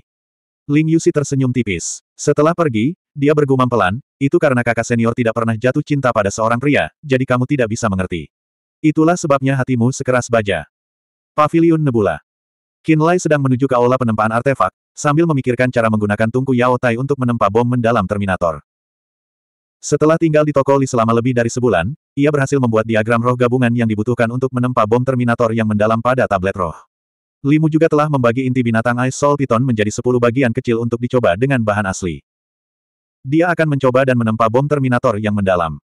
Sekarang semuanya sudah siap, yang tersisa hanyalah penempaan sebenarnya, jadi dia perlu menggunakan tungku di aula penempaan artefak. Dia berencana untuk berkomunikasi dengan Yao Tai. Sudah lama sekali dia tidak datang. Bahkan sebelum dia melangkah masuk ke aula, dia mendengar suara Liu Ting yang memarahi. Kamu tidak bisa melakukan ini, kamu tidak bisa melakukan itu, lalu apa yang bisa kamu lakukan? Pavilion Nebula telah membesarkanmu dan memberimu begitu banyak bahan spiritual untuk menempa artefak, tetapi kau bahkan tidak dapat memperbaiki cermin ilusi seribu milikku. Apa gunanya kami untukmu? Nenek kecil, sudah berapa kali kukatakan padamu? Cermin seribu ilusimu memiliki bahan yang saling bertentangan sejak awal. Tidak peduli seberapa sering kau memperbaikinya, cermin itu tetap mudah rusak. Ini masalah struktural, dan saya tidak bisa memperbaikinya sepenuhnya. Apa yang Anda inginkan? Di dalam aula, suara Yao Tai terdengar lemah. Juga, akhir-akhir ini aku sakit karena kelelahan. Aku tidak bisa memperbaiki artefak roh siapa pun dalam waktu dekat. Bahkan jika kau ingin terus memperbaikinya, kau harus menungguku pulih. Kamu capek apa? Anda bisa pingsan karena kelelahan setelah memperbaiki artefak roh. Lalu bagaimana dengan kita? Kami baru saja kembali dari pinggiran pegunungan Arktik. Kami semua telah melawan makhluk roh dan mempertaruhkan nyawa kami. Apakah memperbaiki artefak roh di dalam pavilion sulit bagimu? Liu Ting berteriak dingin. Qin Lai menggelengkan kepalanya dan menutup telinganya saat dia masuk. Dia segera melihat Yao Tai duduk di sana dengan ekspresi muram. Di sampingnya ada Liu Ting, Wei Li, dan beberapa pemuda lainnya. Du Heng, Qin Lai tiba-tiba berseru pelan saat tatapannya menyapu ke belakang. Ekspresinya sedikit gelap. Qin Lai, tatapan Du Heng juga berubah dingin saat dia menatapnya. Dia seperti binatang buas yang ingin menyerangnya dan bertarung sampai mati. Di kota keluarga Ling, Qin Lai telah melukai Du Heng dengan parah di depan banyak praktisi bela diri Paviliun Nebula. Du Heng melihatnya sebagai penghinaan besar dan momen paling memalukan dalam hidupnya. Demi membunuh Qin Lai, Du Heng telah berkultivasi keras selama lebih dari setahun. Sekarang setelah ia memasuki tingkat kesembilan alam pemurnian, ia menunggu kesempatan untuk membalas dendam. Du Heng, jangan impulsif. Putra Wei Xing, Wei Li, menghentikannya dengan suara pelan. Kemudian, dia menoleh ke samping ke arah Qin Lai dan berkata dengan dingin, dia berhasil menjadi anak laki-laki yang cantik. Dia berhubungan dengan seorang wanita dari Departemen Urusan Dalam Negeri Aula Asura Kegelapan. Dia tidak hanya berhasil menerobos ke alam pembukaan Natal, dia juga dirawat oleh wanita itu dan memperoleh 10.000 poin kontribusi. Cek-cek, ini adalah kemampuannya. Kita tidak bisa dibandingkan. Dia benar-benar hebat dalam hal ini. Dia berhubungan dengan seorang nona di kota keluarga Ling dan bahkan mengatur pernikahan. Heh, pikirannya sudah ketahuan, dan setelah pernikahannya dibatalkan, dia bisa datang ke Paviliun Nebula bersama Tuze. Tidak lama setelah tiba di Nebula Pavilion, dia secara ajaib berhubungan dengan seorang wanita dari Dark Asura Hall. Metode ini, benar-benar membuatku merasa rendah diri. Pemuda di sisi lain menggema. Qin Lai, jangan berpikir bahwa kamu satu-satunya yang bisa memasuki pavilion nebula sepagi ini. Wajah Du Heng muram. Aku telah memberikan kontribusi di luar pegunungan Arktik dan juga menjadi murid inti pavilion nebula sejak dini. Utang kita akan dilunasi perlahan-lahan di pavilion nebula di masa mendatang. Kamu juga memberikan kontribusi. Qin Lai tersenyum acuh tak acuh. Paman palsumu, ayah kandungmu, berapa banyak orang yang dia kirim untuk membantumu? Berapa banyak sumbangan yang telah kamu berikan agar kamu bisa masuk ke Nebula Pavilion? Mengabaikan wajah Du Heng yang pucat pasi yang tampak seperti ingin memakan seseorang, Qin Lai menatap Wei Li dengan kilatan petir di matanya. Dia berkata dengan ekspresi dingin, sekelompok orang yang mengandalkan ayah mereka untuk bertahan hidup, apakah menurutmu kau memenuhi syarat untuk mengejekku? Jika bukan karena ayahmu, apakah kamu yakin kamu tidak akan mampu bertahan setahun di Pavilion Nebula? Saat diancam seperti ini, Kesadaran pikiran yang terkondensasi dari niat membunuh dalam benak Qin Lai benar-benar menyembur keluar dari matanya. Wei Li menatapnya dan tiba-tiba merasa dingin di sekujur tubuhnya. Lehernya terasa seperti diiris oleh pisau tajam. Wajahnya pucat saat dia mundur beberapa langkah dalam keadaan yang sangat menyedihkan. Orang seperti ini punya kualifikasi untuk mengejek orang lain. Qin Lai tertawa dingin. Jantungnya bergerak sedikit. Tiba-tiba dia menyadari bahwa kesadaran pikiran yang dimilikinya memiliki kegunaan yang luar biasa. Kesadaran itu memungkinkannya untuk menekan praktisi bela diri tingkat rendah dengan auranya. Jangan berpikir bahwa kamu bisa melakukan apa pun di Paviliun Nebula hanya karena kamu berhasil mencapai alam pembukaan Natal. Liu Ting mendengus dengan wajah serius. Setelah perjalanan ke pegunungan Arktik ini, ayahku akan menjadi Master Paviliun Nebula yang baru. Paman Duheng, tetua Duhaitian, akan menjadi wakil Master Paviliun yang baru. Pada saat itu, aku ingin melihat berapa lama kamu dan tukang tak berguna ini bisa bertahan di pavilion ini. Ayo, Liu Ting berjalan keluar terlebih dahulu. Wei Li yang tampak menyesal dan para pemuda lainnya juga bergegas mengikuti dan pergi bersamanya. Hanya Du Heng yang tertinggal. Wajahnya buas, dan matanya memancarkan cahaya berbisa. Dia menggertakkan giginya dan berkata, Qin Lai, kau dan semua orang di keluarga Ling akan mati. Keluarga Ling, Qin Lai tertawa dingin. Ling Yusi dan Ling Xuan-Xuan sudah memasuki lembah kisah, dan kamu masih berani memprovokasi keluarga Ling. Apakah kamu benar-benar lelah hidup? Kau akan lihat. Du Heng berkata dengan kejam lalu berjalan keluar dari aula penempaan artefak. Qin Lai mengerutkan kening dan tidak bisa menahan rasa khawatirnya terhadap Ling Feng, Ling Ying, dan yang lainnya dari keluarga Ling. Dilihat dari nada bicara Du Heng, Du Haitian tampaknya memiliki beberapa rencana untuk menghadapi keluarga Ling. Ling Feng, Ling Ying, Ling Xin, dan yang lainnya telah berjuang berdampingan dengannya di Gunung Celestial Wolf. Sebelum dia meninggalkan kota keluarga Ling, Ling Feng dan yang lainnya datang untuk menghiburnya, minum bersamanya, dan membantunya meredakan tekanan. Dia punya kesan buruk terhadap patriar keluarga Ling dan Ling Chengxi, tetapi dia punya kesan baik terhadap Ling Feng dan yang lainnya. Dia tidak ingin sesuatu terjadi pada mereka, jadi dia sedikit khawatir. Sudah lama sekali, mereka seharusnya sudah meninggalkan kota ini sejak lama. Semoga mereka baik-baik saja, kata Qin Lai dalam hati. Kamu sudah lama tidak datang. Saat dia sedang berpikir keras, Yao Tai berkata dengan lemah, akhir-akhir ini, aku sibuk memperbaiki artefak roh. Kali ini, aku benar-benar kelelahan. Aku khawatir aku tidak akan bisa melakukan apa pun untuk sementara waktu. Dia menatap Qin Lai dengan mata yang sedikit berbinar. Selamat karena berhasil mencapai alam pembukaan Natal. Setelah kejadian ini, akhirnya aku mengerti bahwa kemajuan dalam penempaan artefak berhubungan dengan alam seorang praktisi bela diri. Jika tingkatanku cukup tinggi, aku tidak perlu menghabiskan begitu banyak energi untuk memperbaiki artefak roh. Aku tidak akan kehabisan energi roh, dan aku tidak akan begitu lelah. Baru-baru ini, karena pertempuran antara praktisi bela diri dan binatang buas roh pegunungan Arktik, banyak praktisi bela diri di pavilion telah merusak artefak roh dan datang menemui Yao Tai untuk memperbaikinya. Master Pavilion Tumo juga telah memerintahkan agar Yao Tai melakukan yang terbaik. Oleh karena itu, begitu energi spiritualnya pulih, dia akan segera menenggelamkan diri dalam perbaikan artefak spiritual. Setelah beberapa bulan bekerja tanpa henti, Yao Tai, yang tingkatannya tidak terlalu tinggi, tidak dapat bertahan lagi dan akhirnya pingsan. Qin Lai, yang sedang khawatir tentang cara meminjam tungku istana, mendengarnya mengatakan ini dan berkata dengan tulus, guru besar telah bekerja terlalu keras. Kalau begitu, Anda harus kembali dan beristirahat selama beberapa hari. Saya akan menjaga istana penempaan artefak untuk sementara waktu. Saya jamin tidak akan ada masalah. Apa pendapat guru besar? Baiklah, aku harus istirahat sebentar. Yao Tai mengangguk. Jangan khawatir, guru besar, saya akan mengurus semuanya di sini. Qinlai menepuk dadanya dan berjanji. 108. Yao Tai kelelahan dan hanya bisa beristirahat untuk saat ini. Dia tidak bisa lagi memperbaiki artefak roh untuk orang lain. Qinlai menuliskan berita ini dalam sebuah pengumuman dan menempelkannya di kuali besar di depan aula penempaan artefak. Kemudian, dia menutup pintu aula. Di dalam aula, ada banyak lemari material roh yang menyimpan banyak material. Sebagian besar material pelengkap yang ia butuhkan untuk menempa bom Terminator dapat ditemukan di sini. Namun, Qinlai tidak berencana menggunakan material roh Yao Tai atau kristal apinya. Dia hanya berencana menggunakan tungku penempaan artefak. Pertama-tama, ia pergi ke gudang penyimpanan dan menggunakan poin kontribusinya untuk menukar beberapa bahan tambahan guna menempa bom Terminator yang mendalam. Kemudian, ia mengeluarkan kristal api yang telah dikumpulkannya dan memindahkannya ke aula penempaan artefak. Setelah mempersiapkan diri selama sehari, ia mengumpulkan semua bahan tambahan yang dibutuhkan untuk menempa bom mendalam Terminator dan mengisi tungku dengan kristal api. Melihat tungku itu, ekspresinya berangsur-angsur menjadi serius. Hatinya sedikit gelisah, dan dia sama sekali tidak memiliki rasa percaya diri. Setelah mengikuti Yao Tai selama lebih dari setengah tahun, dia telah lama memahami proses peleburan artefak dan karakteristik semua jenis bahan roh.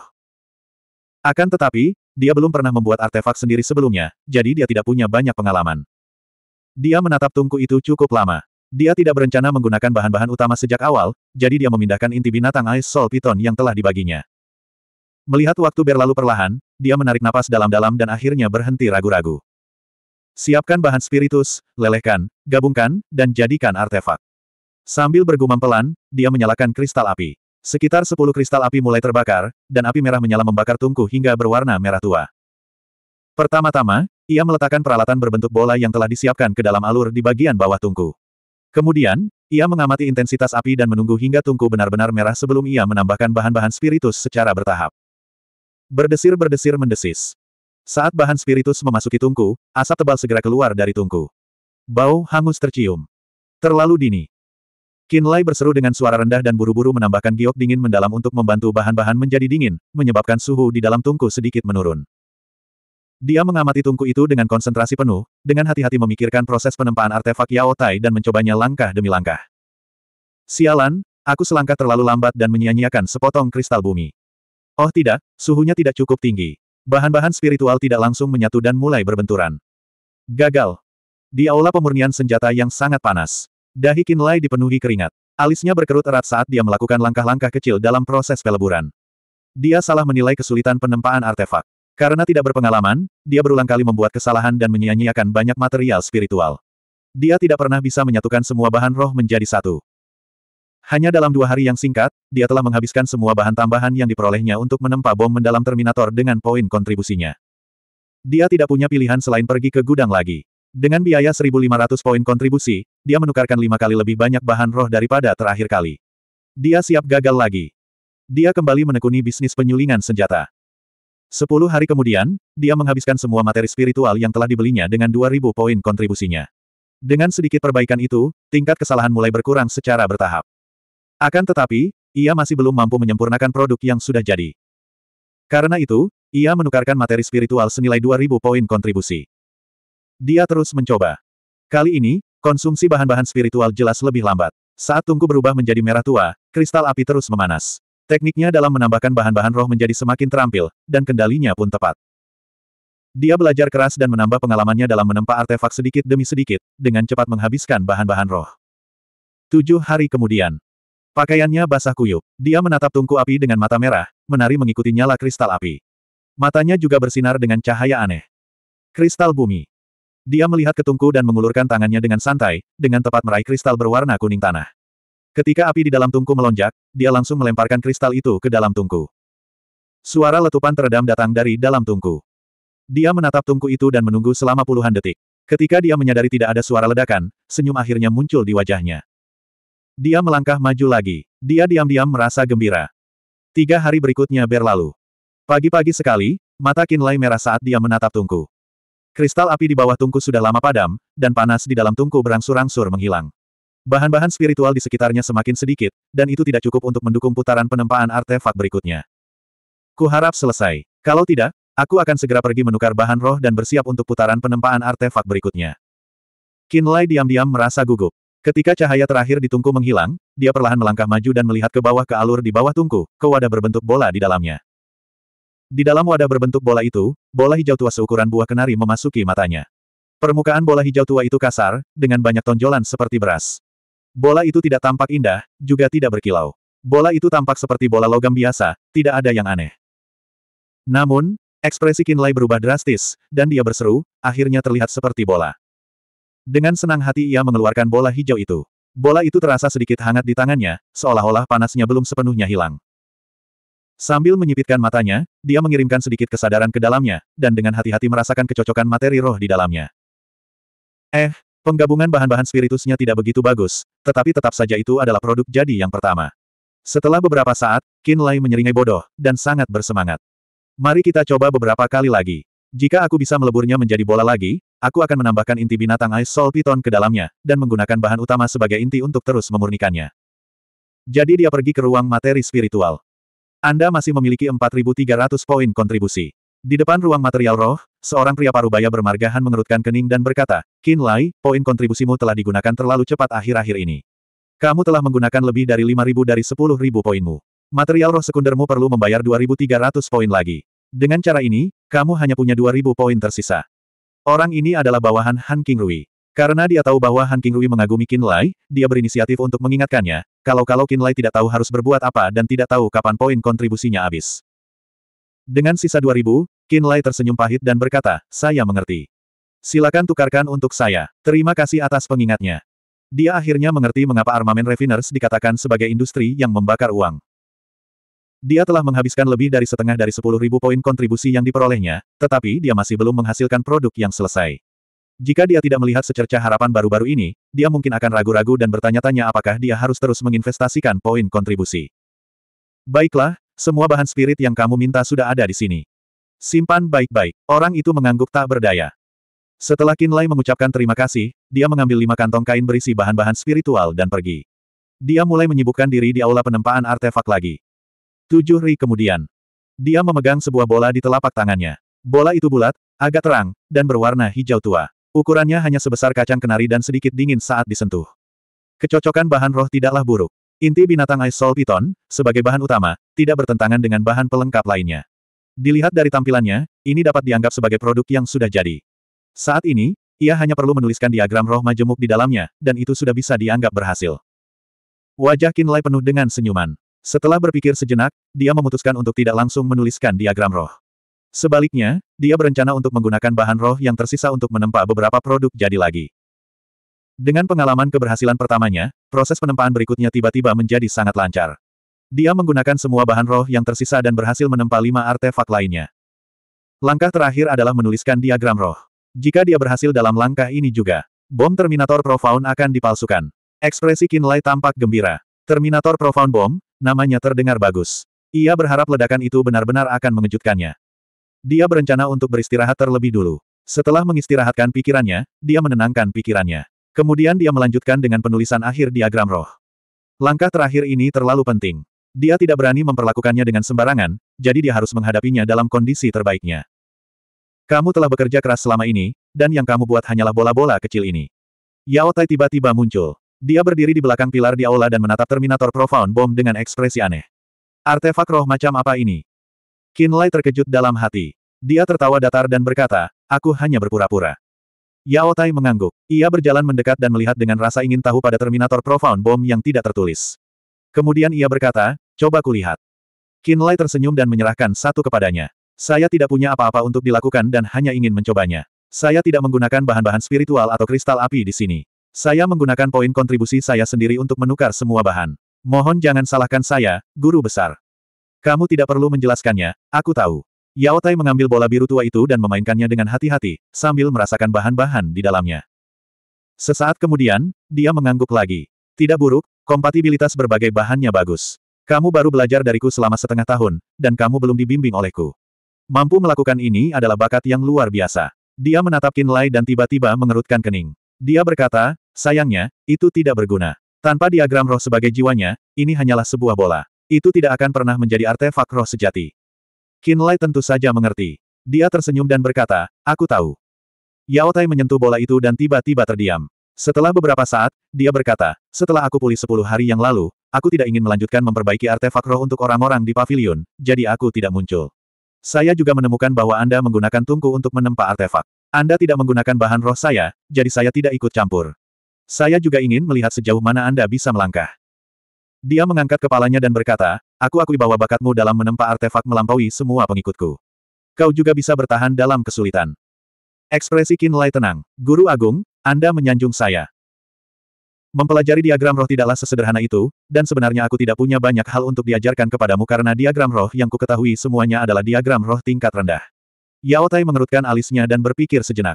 Dia tampaknya telah mengambil keputusan dan berkata, jika kamu benar-benar ingin belajar, maka jadilah asistenku selama setahun lagi. Setelah satu tahun, aku akan mengajarkan kepadamu beberapa diagram roh dasar yang ku ketahui. Qin Lai terkejut. Diagram roh apa yang akan kamu tulis di bola ini? Aku bisa membantumu. Yao Tai meminta pendapatnya. Tidak, tidak perlu. Aku hanya bermain-main dan berlatih. Tidak perlu bagi guru besar untuk khawatir. Kinlay merasa sedikit tersanjung, tetapi dia segera menghentikannya. Karena guru besar sudah ada di sini, saya tidak perlu tinggal di sini lagi. Saya sangat lelah akhir-akhir ini. Saya akan beristirahat dulu. Selesai, dia mengambil bola dari tangan Yao Tai dan meninggalkan aula sambil tersenyum. Bocah ini, setelah dia buru-buru pergi, wajah Yao Tai penuh amarah saat dia memarahi, ini pertama kalinya aku benar-benar ingin menerima murid, tetapi aku harus bertemu seseorang yang tidak menghargainya. Aku siap mengajarinya cara menulis diagram roh, tetapi dia kabur tanpa mengatakan apa pun. Sial, mengapa aku bertemu dengan bocah bodoh seperti itu? 109. Seseorang telah kembali. Seorang tetua telah kembali ke pavilion. Itu adalah anak buah Penatua Chu. Siang hari, saat Qin Lai dan Liu Yan baru saja keluar dari area kultivasi, mereka mendengar teriakan dari arah gerbang selatan pavilion Nebula. Pada tahun lalu, seiring meningkatnya pertempuran antara praktisi bela diri dan binatang buas, semakin banyak praktisi bela diri yang dikirim untuk bertarung.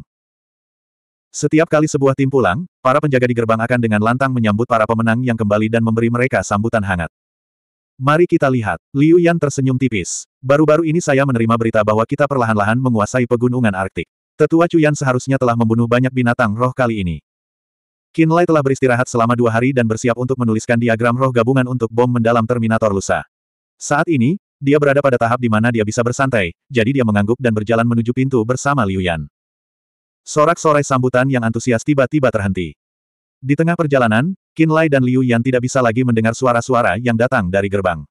Seolah-olah semua orang tiba-tiba menjadi bisu. Ada yang salah. Liu Yan mengerutkan kening, ekspresinya menjadi gelap. Apa yang sedang terjadi? Kinlay terkejut. Biasanya, hanya mereka yang kembali dan mengalami kerugian besar yang akan mengalami suasana menyedihkan seperti itu. Liu Yan sudah punya firasat buruk. Mungkin Penatua Cu dan yang lainnya sedang tidak dalam kondisi baik. Qin Lai tidak bersuara. Beberapa menit kemudian, Qin Lai dan Liu Yan tiba di gerbang selatan Pavilion Nebula bersama banyak orang lain yang telah mendengar berita tersebut. Hanya dengan pandangan sekilas dari jauh, ekspresi Qin Lai berubah dan dia berkata dengan suara rendah, Saudara Liu, tebakanmu benar. Di depan gerbang, sekelompok bawahan Cuyan semuanya memasang ekspresi gelap, mata mereka tak bernyawa. Banyak dari mereka kehilangan lengan atau kaki, dan hampir semuanya terluka parah. Chu Peng, Tu Ze, dan Zuo Qian berada di belakang kelompok itu, wajah mereka muram dan terdiam. Mereka tampaknya telah menderita pukulan berat. Terutama Chu Peng, yang tampaknya menangis sepanjang perjalanan pulang. Matanya merah dan bengkak. Ekspresinya juga sangat kaku saat dia berjalan bersama Tu Ze dan Zuo Qian seperti boneka. Kepalanya tertunduk dan dia tidak bersuara. Seluruh tubuhnya tidak bernyawa. Para praktisi bela diri pavilion nebula yang berkumpul. Para penjaga di depan pintu pun terdiam. Semua orang dapat melihat bahwa orang-orang yang kembali kali ini telah menderita kerugian besar. Hal ini membuat mereka tidak dapat bersorak atau mengucapkan sepatah kata selamat datang. Suasana di depan pintu sangatlah menyesakkan. Mereka yang kembali. Kerugian yang dialami oleh tetua Chu Yan terlalu mengerikan. Bahkan tidak ada sepersepuluh dari seluruh kekuatannya yang tersisa. Salah satu di antara mereka memandanginya sejenak lalu mendesah pelan. Mengapa mereka tidak melihat penatua Chu Yan? Beberapa orang bingung. Begitu dia mengatakan itu, semua orang langsung berpikir tentang kemungkinan. Mungkinkah dia sudah meninggal?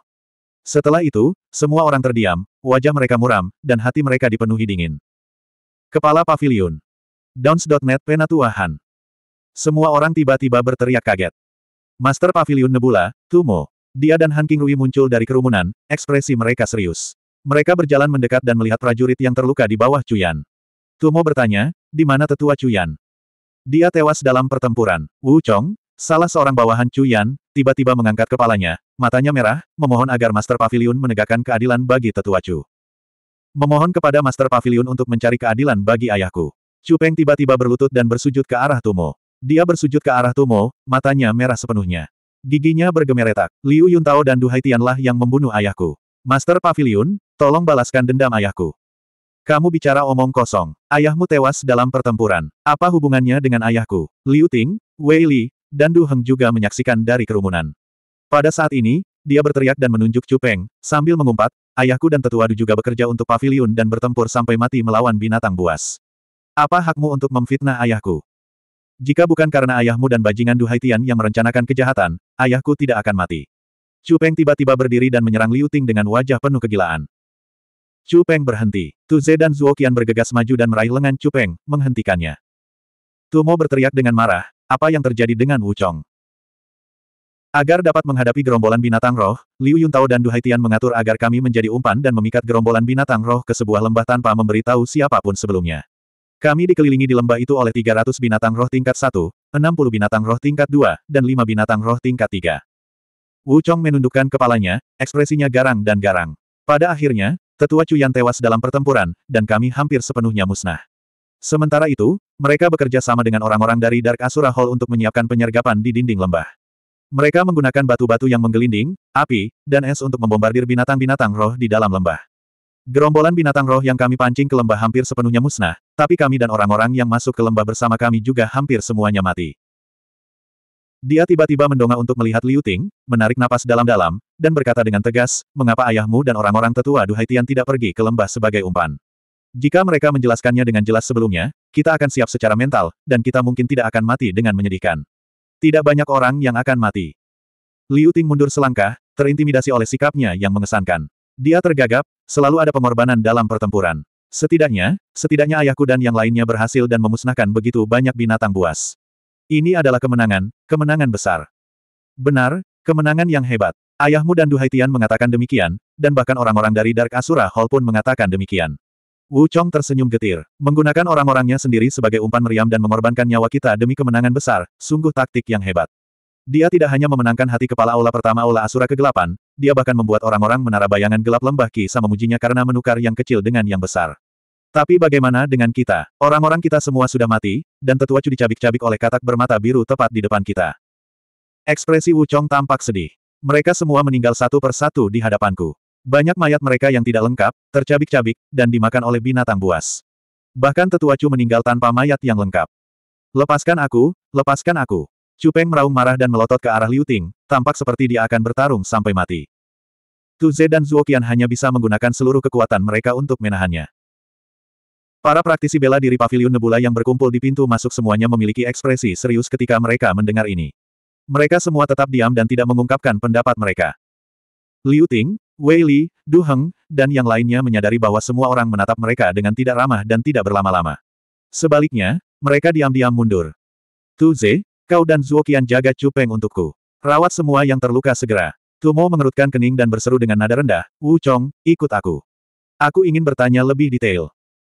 Tumo mengangguk ke arah Han King Rui, dan mereka berdua berjalan menuju aula besar tempat dia membicarakan bisnis. Wu Chong mengikuti di belakang mereka. Begitu mereka melihat dia dan Han King Rui pergi lebih dulu, banyak orang juga secara bertahap bubar. Namun, ekspresi semua orang berat, dan mereka mengingat masalah ini.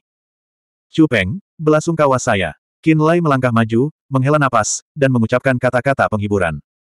Chu Peng menundukkan kepalanya. Seperti binatang buas yang terperangkap, ekspresinya mengerikan dan menakutkan, dan emosinya masih dalam keadaan yang sangat tidak stabil. Ketika Tu Ze dan Zuoqian melihat Qin Lai berjalan mendekat, tatapan mereka sedikit aneh. Mereka tampak ingin mengatakan sesuatu tetapi ragu-ragu. Kata-kata apa yang tidak bisa diucapkan kepadaku? Qin Lai mengerutkan kening. Tu Ze berpikir sejenak, menggertakkan giginya, dan berkata, Kakak, kamu mungkin sudah tidak punya perasaan baik terhadap keluarga Ling lagi, kan? Apa maksudmu? Qin Lai bertanya dengan ragu. Anda akan segera mengetahuinya. Aku tidak akan menyembunyikannya darimu. Orang-orang dari keluarga Ling dikirim ke lembah bersama dengan tetua Chu Yan sebagai umpan. Ekspresi Tu Ze tampak gelap saat dia menambahkan, hampir semuanya mati. Wajah Qin Lai memucat. Maaf, kami tidak dapat membantu. Kami semua bersama tetua Kang Hui dan Ye Yang Qiu dan tidak tahu apa pun tentang masalah ini. Kata Tu Ze. Liu Yuntao, Du Haitian, dan Wei Xing menyembunyikannya dengan sangat baik. Tidak seorang pun dapat menduga bahwa mereka akan begitu kejam. Pada saat kita mengetahuinya, hal itu sudah terjadi. Zuo Qian mendesah pelan dan menepuk bahu Qin Lai. Anda juga harus santai saja. Apakah orang-orang dari keluarga Ling sudah menerima berita? Wajah Qin Lai pucat, dan niat membunuh di matanya sangat kuat. Orang-orang dari keluarga Ling yang ada di sana benar-benar semuanya mati. Keluarga Ling seharusnya tahu, kata Zuo Qian. Qin Lai mengangguk. Seluruh tubuhnya memancarkan hawa dingin yang mematikan saat dia berjalan keluar dari nebula pavilion. Ling Ying, Ling Xin, Ling Xiao. Satu persatu wajah muda melintas di benaknya. Adegan mereka bertarung berdampingan muncul dari kedalaman ingatannya. Ia masih ingat, sebelum ia meninggalkan kota keluarga Ling, orang-orang ini datang minum bersamanya sepanjang malam saat ia sedang sedih, tertawa dan berteriak gila-gilaan bersamanya.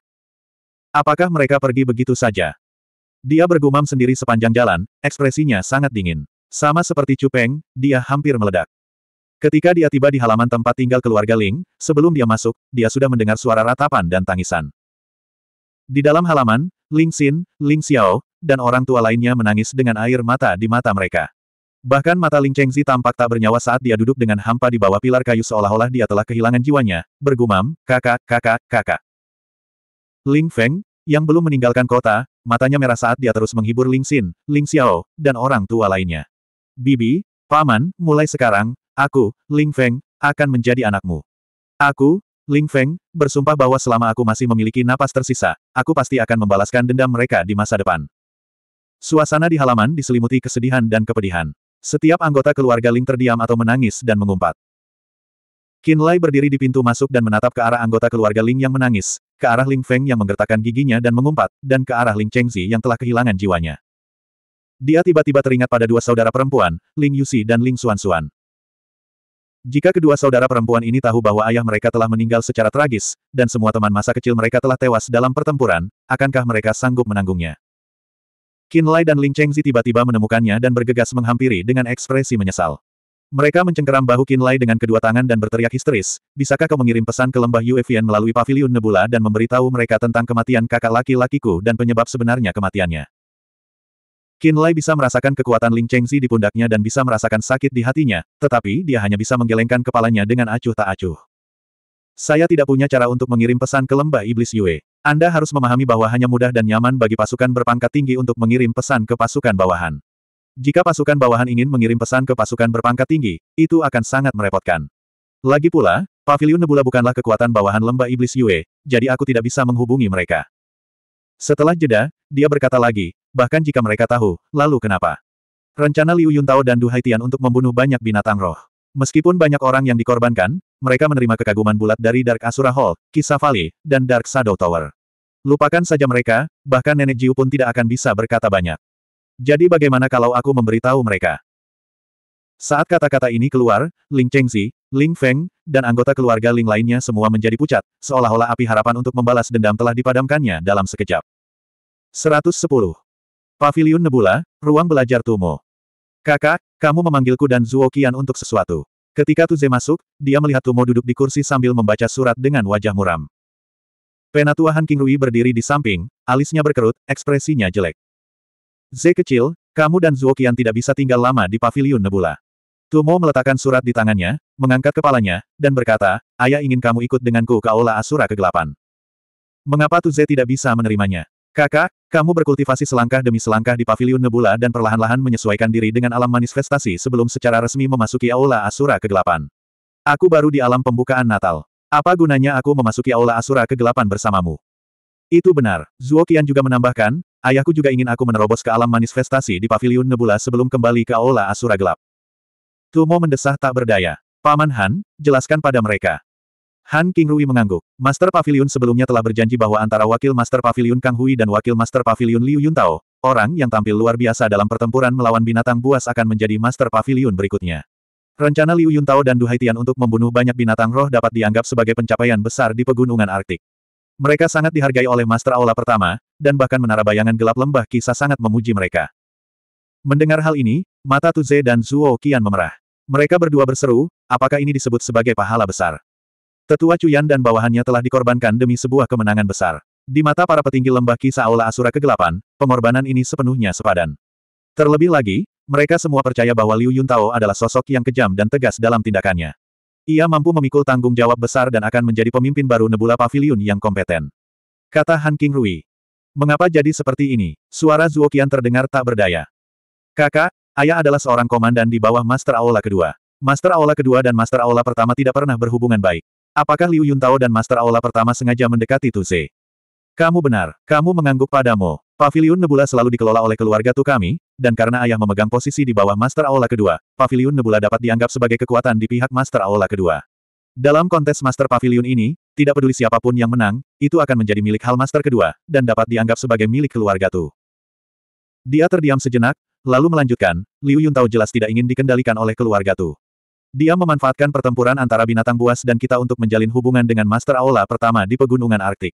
Dia berjalan bersama dengan kepala istana pertama. Kali ini, penampilan Master Aula pertama di pegunungan Arktik sangat luar biasa, dan dia menjadi pusat perhatian.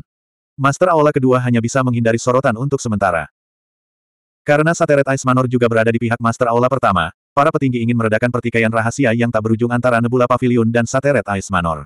Itu bisa dianggap sebagai persetujuan diam-diam atas kedekatan Liu Yuntao dan kepala istana pertama. Para petinggi merasa bahwa jika Liu Yuntao menjadi ketua Pavilion Nebula, maka Sateret Ice Manor dan Pavilion Nebula tidak akan terus bertarung sampai mati satu sama lain sebagai Master Aula pertama. Dia menatap Tu Ze. Terus terang saja, yang dibenci Sateret Ice Manor adalah keluarga Tu kita. Jika Nebula Pavilion bukan lagi milik keluarga Tu, maka Sateret Ice Manor tidak akan menyimpan dendam sebesar itu. Pada titik ini, Tu Ze dan Zuoqian keduanya mengerti dan merasakan sedikit hawa dingin di hati mereka. Di mana kepala Aula kedua? Seru Zuoqian pelan. Tidak ada cara lain. Penampilan Master Aula pertama di pegunungan Arktik sangat luar biasa, dan dikatakan bahwa dia akan memperbarui kontraknya dengan Raja Binatang Roh. Tumo menggelengkan kepalanya. Pada titik ini, Master Aula kedua tidak punya cara untuk memperjuangkannya. Terlebih lagi, para petinggi tidak ingin Sateret Ice Manor dan Nebula Pavilion terus bertempur, jadi mereka diam-diam menyetujui hal ini. Ayah juga tahu bahwa keluarga Tu tidak akan dapat mengendalikan Nebula Pavilion di masa mendatang. Jadi, dia menyerahkan surat di tangannya kepada Tu Ze. Bacalah sendiri. Inilah wajah Ze yang menjadi gelap. Dia menundukkan kepalanya dan selesai membaca isi surat itu. Kemudian, dia tetap diam. Baiklah, begini saja. Saat Liu Yuntao kembali, aku akan turun tahta. Kalian berdua akan mengikutiku ke Aula Asura kegelapan. Tumo melambaikan tangannya tanpa daya. Kalian berdua harus bersiap sekarang. Begitu Liu Yuntao mengambil alih Pavilion Nebula, keluarga Tu tidak akan lagi memiliki pengaruh di Pavilion Nebula. Jika Tu Ze dan Zuoqian tetap tinggal, tidak ada yang akan memberi mereka muka. Liu Yuntao bahkan mungkin diam-diam menjebak mereka. Jika memang demikian, lebih baik pergi lebih awal untuk menghindari pembatasan di masa mendatang. Jika kita pergi, bagaimana dengan Paman Han dan Paman Kang? Zuoqian menundukkan kepalanya. Bagaimana dengan balas dendam tetua Chuyan? Han Qingrui tersenyum pahit dan menggelengkan kepalanya. Terima kasih, Nona Qian, karena telah memikirkan lelaki tua ini. Master Pavilion akan mengaturnya untukku. Kau tidak perlu khawatir. Adapun Cuyan, jangan terlalu banyak berpikir. Pertama-tama stabilkan emosi Cupeng dan jangan biarkan dia keluar dan menimbulkan masalah. Saat ini, Master Aula pertama sedang menjadi pusat perhatian. Liu Yuntao dan Du Haitian, yang dekat dengan Master Aula pertama, juga sedang naik daun.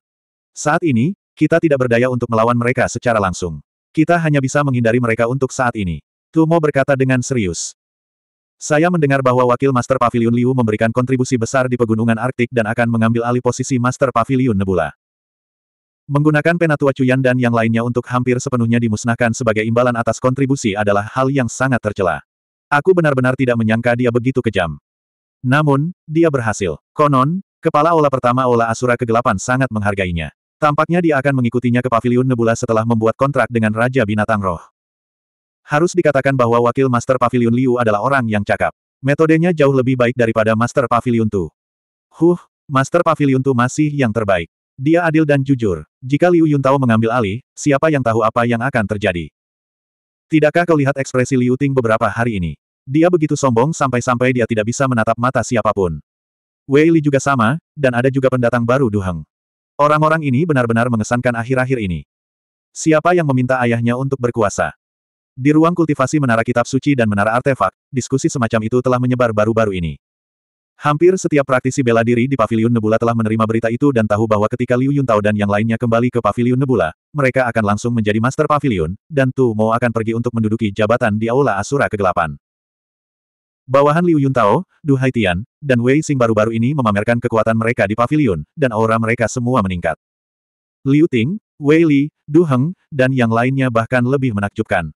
Mereka tertawa terbahak-bahak di jalan seolah-olah mereka takut orang lain tidak akan mengetahui kegembiraan dan kebanggaan mereka.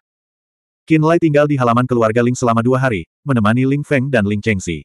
Dia menunggu emosi mereka stabil sebelum kembali ke Pavilion Nebula. Saat dia kembali ke Nebula Pavilion, dia mendengar segala macam diskusi. Dia tahu bahwa Liu Yuntao akan menjadi Master Pavilion yang baru, dan Du Haitian akan menjadi Wakil Master Pavilion. Ekspresinya dingin saat dia berjalan menuju aula penempaan artefak. Begitu dia masuk, dia melihat Liu Ting berjalan keluar bersama Wei Li dan Du Heng. Saat Liu Ting melihatnya kembali, ekspresinya berubah dingin saat dia mendengus, pavilion nebula tidak menghasilkan sampah. Tempat ini akan disegel di masa depan, dan aula penempaan artefak tidak perlu ada. Qin Lai, hari-harimu sudah berakhir. Mata Du Heng dipenuhi kebencian. Dulu, kamu punya keluarga Tu yang melindungimu, jadi kamu bisa hidup nyaman di nebula pavilion. Di masa depan, lebih baik kamu berdoa untuk keberuntunganmu sendiri. Ayo pergi. Liu Ting pergi dengan bangga, dan orang banyak segera mengikutinya. Qin Lai berjalan memasuki aula penempaan artefak. Semua lemari telah disegel, dan segala jenis bahan roh penempa artefak telah dipindahkan. Hanya tungku pusat yang tersisa, dan karena ukurannya yang sangat besar, tungku tersebut tidak dipindahkan. Yao Tai berada tepat di samping tungku perapiannya dengan ekspresi kesepian. Guru besar Yao, seru Qin Lai lembut. Guru agung apa? Yao Tai menggelengkan kepalanya sambil tersenyum pahit. Dalam beberapa hari, aku akan dikeluarkan dari Pavilion Nebula. Huh, aku benar-benar tidak menyangka bahwa Liu Yuntao akan mendapatkan kekuasaan. Qin Lai bertanya tentang hal-hal di sini. Mereka semua telah dipindahkan. Yao Tai menjelaskan, mereka takut kalau saya diam-diam menyembunyikan bahan-bahan spiritual, dan mengatakan kalau bahan-bahan itu milik pavilion dan akan dipindahkan terlebih dahulu. Master Pavilion tidak mengatakan apa pun. Qin Lai mengerutkan kening. Pada saat ini, Master Pavilion tidak ingin mempunyai konflik dengan Liu Yuntao. Karena itu, dia membiarkan Liu Ting dan yang lainnya melakukan apa yang mereka inginkan. Yao Tai tersenyum getir. Huh, kalau aku tahu ini akan terjadi, aku akan membuat cermin seribu ilusi baru untuk gadis kecil itu. Kadangkala, kesombongan seorang perajin sangatlah buruk. Qin Lai terdiam. Saya akan berangkat lusa, dan saya tidak akan bisa mengajarimu apa pun di masa mendatang. Simpanlah pamflet ini. Itu semua adalah pemahaman saya tentang semua jenis material roh tingkat rendah. Itu bukanlah sesuatu yang sangat berharga, hanya pengalaman beberapa dekade. Dia menyerahkan buku yang agak tebal kepada Qin Lai dan berkata, diagram roh yang ku ketahui terlalu kasar, jadi aku tidak akan mengajarimu. Aku harap kau akan dapat menemukan guru sejati di masa depan. Dan aku tidak memenuhi syarat untuk menjadi tuanmu. Menerima buku pengalaman menempa artefak, hati Qin Lai terasa berat saat dia berkata dengan tulus, terima kasih, guru besar Yao. Sambil melambaikan tangannya, Yao Tai memberi isyarat agar dia pergi.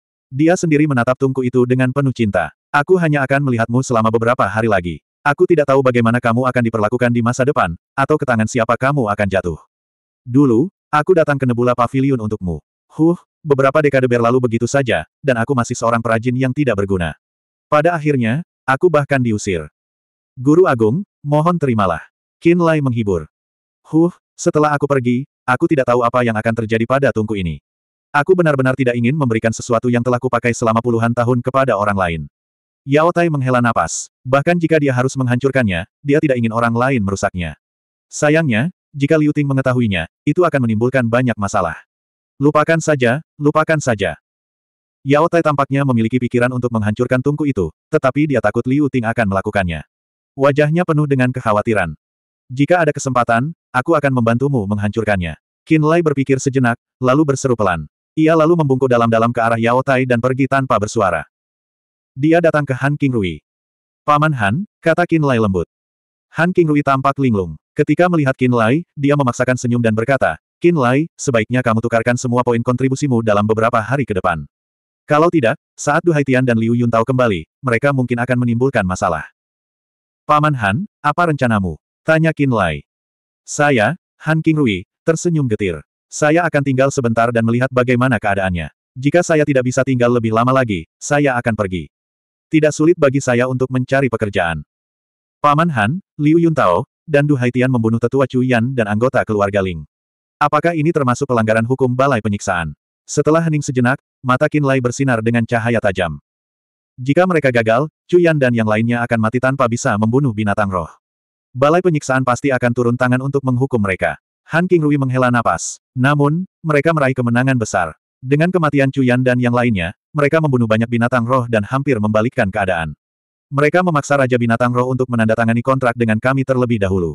Dengan cara ini, mereka tidak hanya tidak bersalah, tetapi mereka juga memberikan kontribusi besar dan mendapat pujian dari semua pihak. Apa yang bisa dilakukan Balai Penyiksaan? Apakah tetua Cuyan dan anggota keluarga Ling mati sia-sia? Qin Lai menggertakkan giginya, permusuhan di matanya semakin dalam. Tidak ada jalan lain. Benar-benar tidak ada jalan lain. Qin Lai, terima saja kenyataan seperti kami. Kata Han King Rui. Aku tidak bisa menerimanya, gerutu Qin Lai.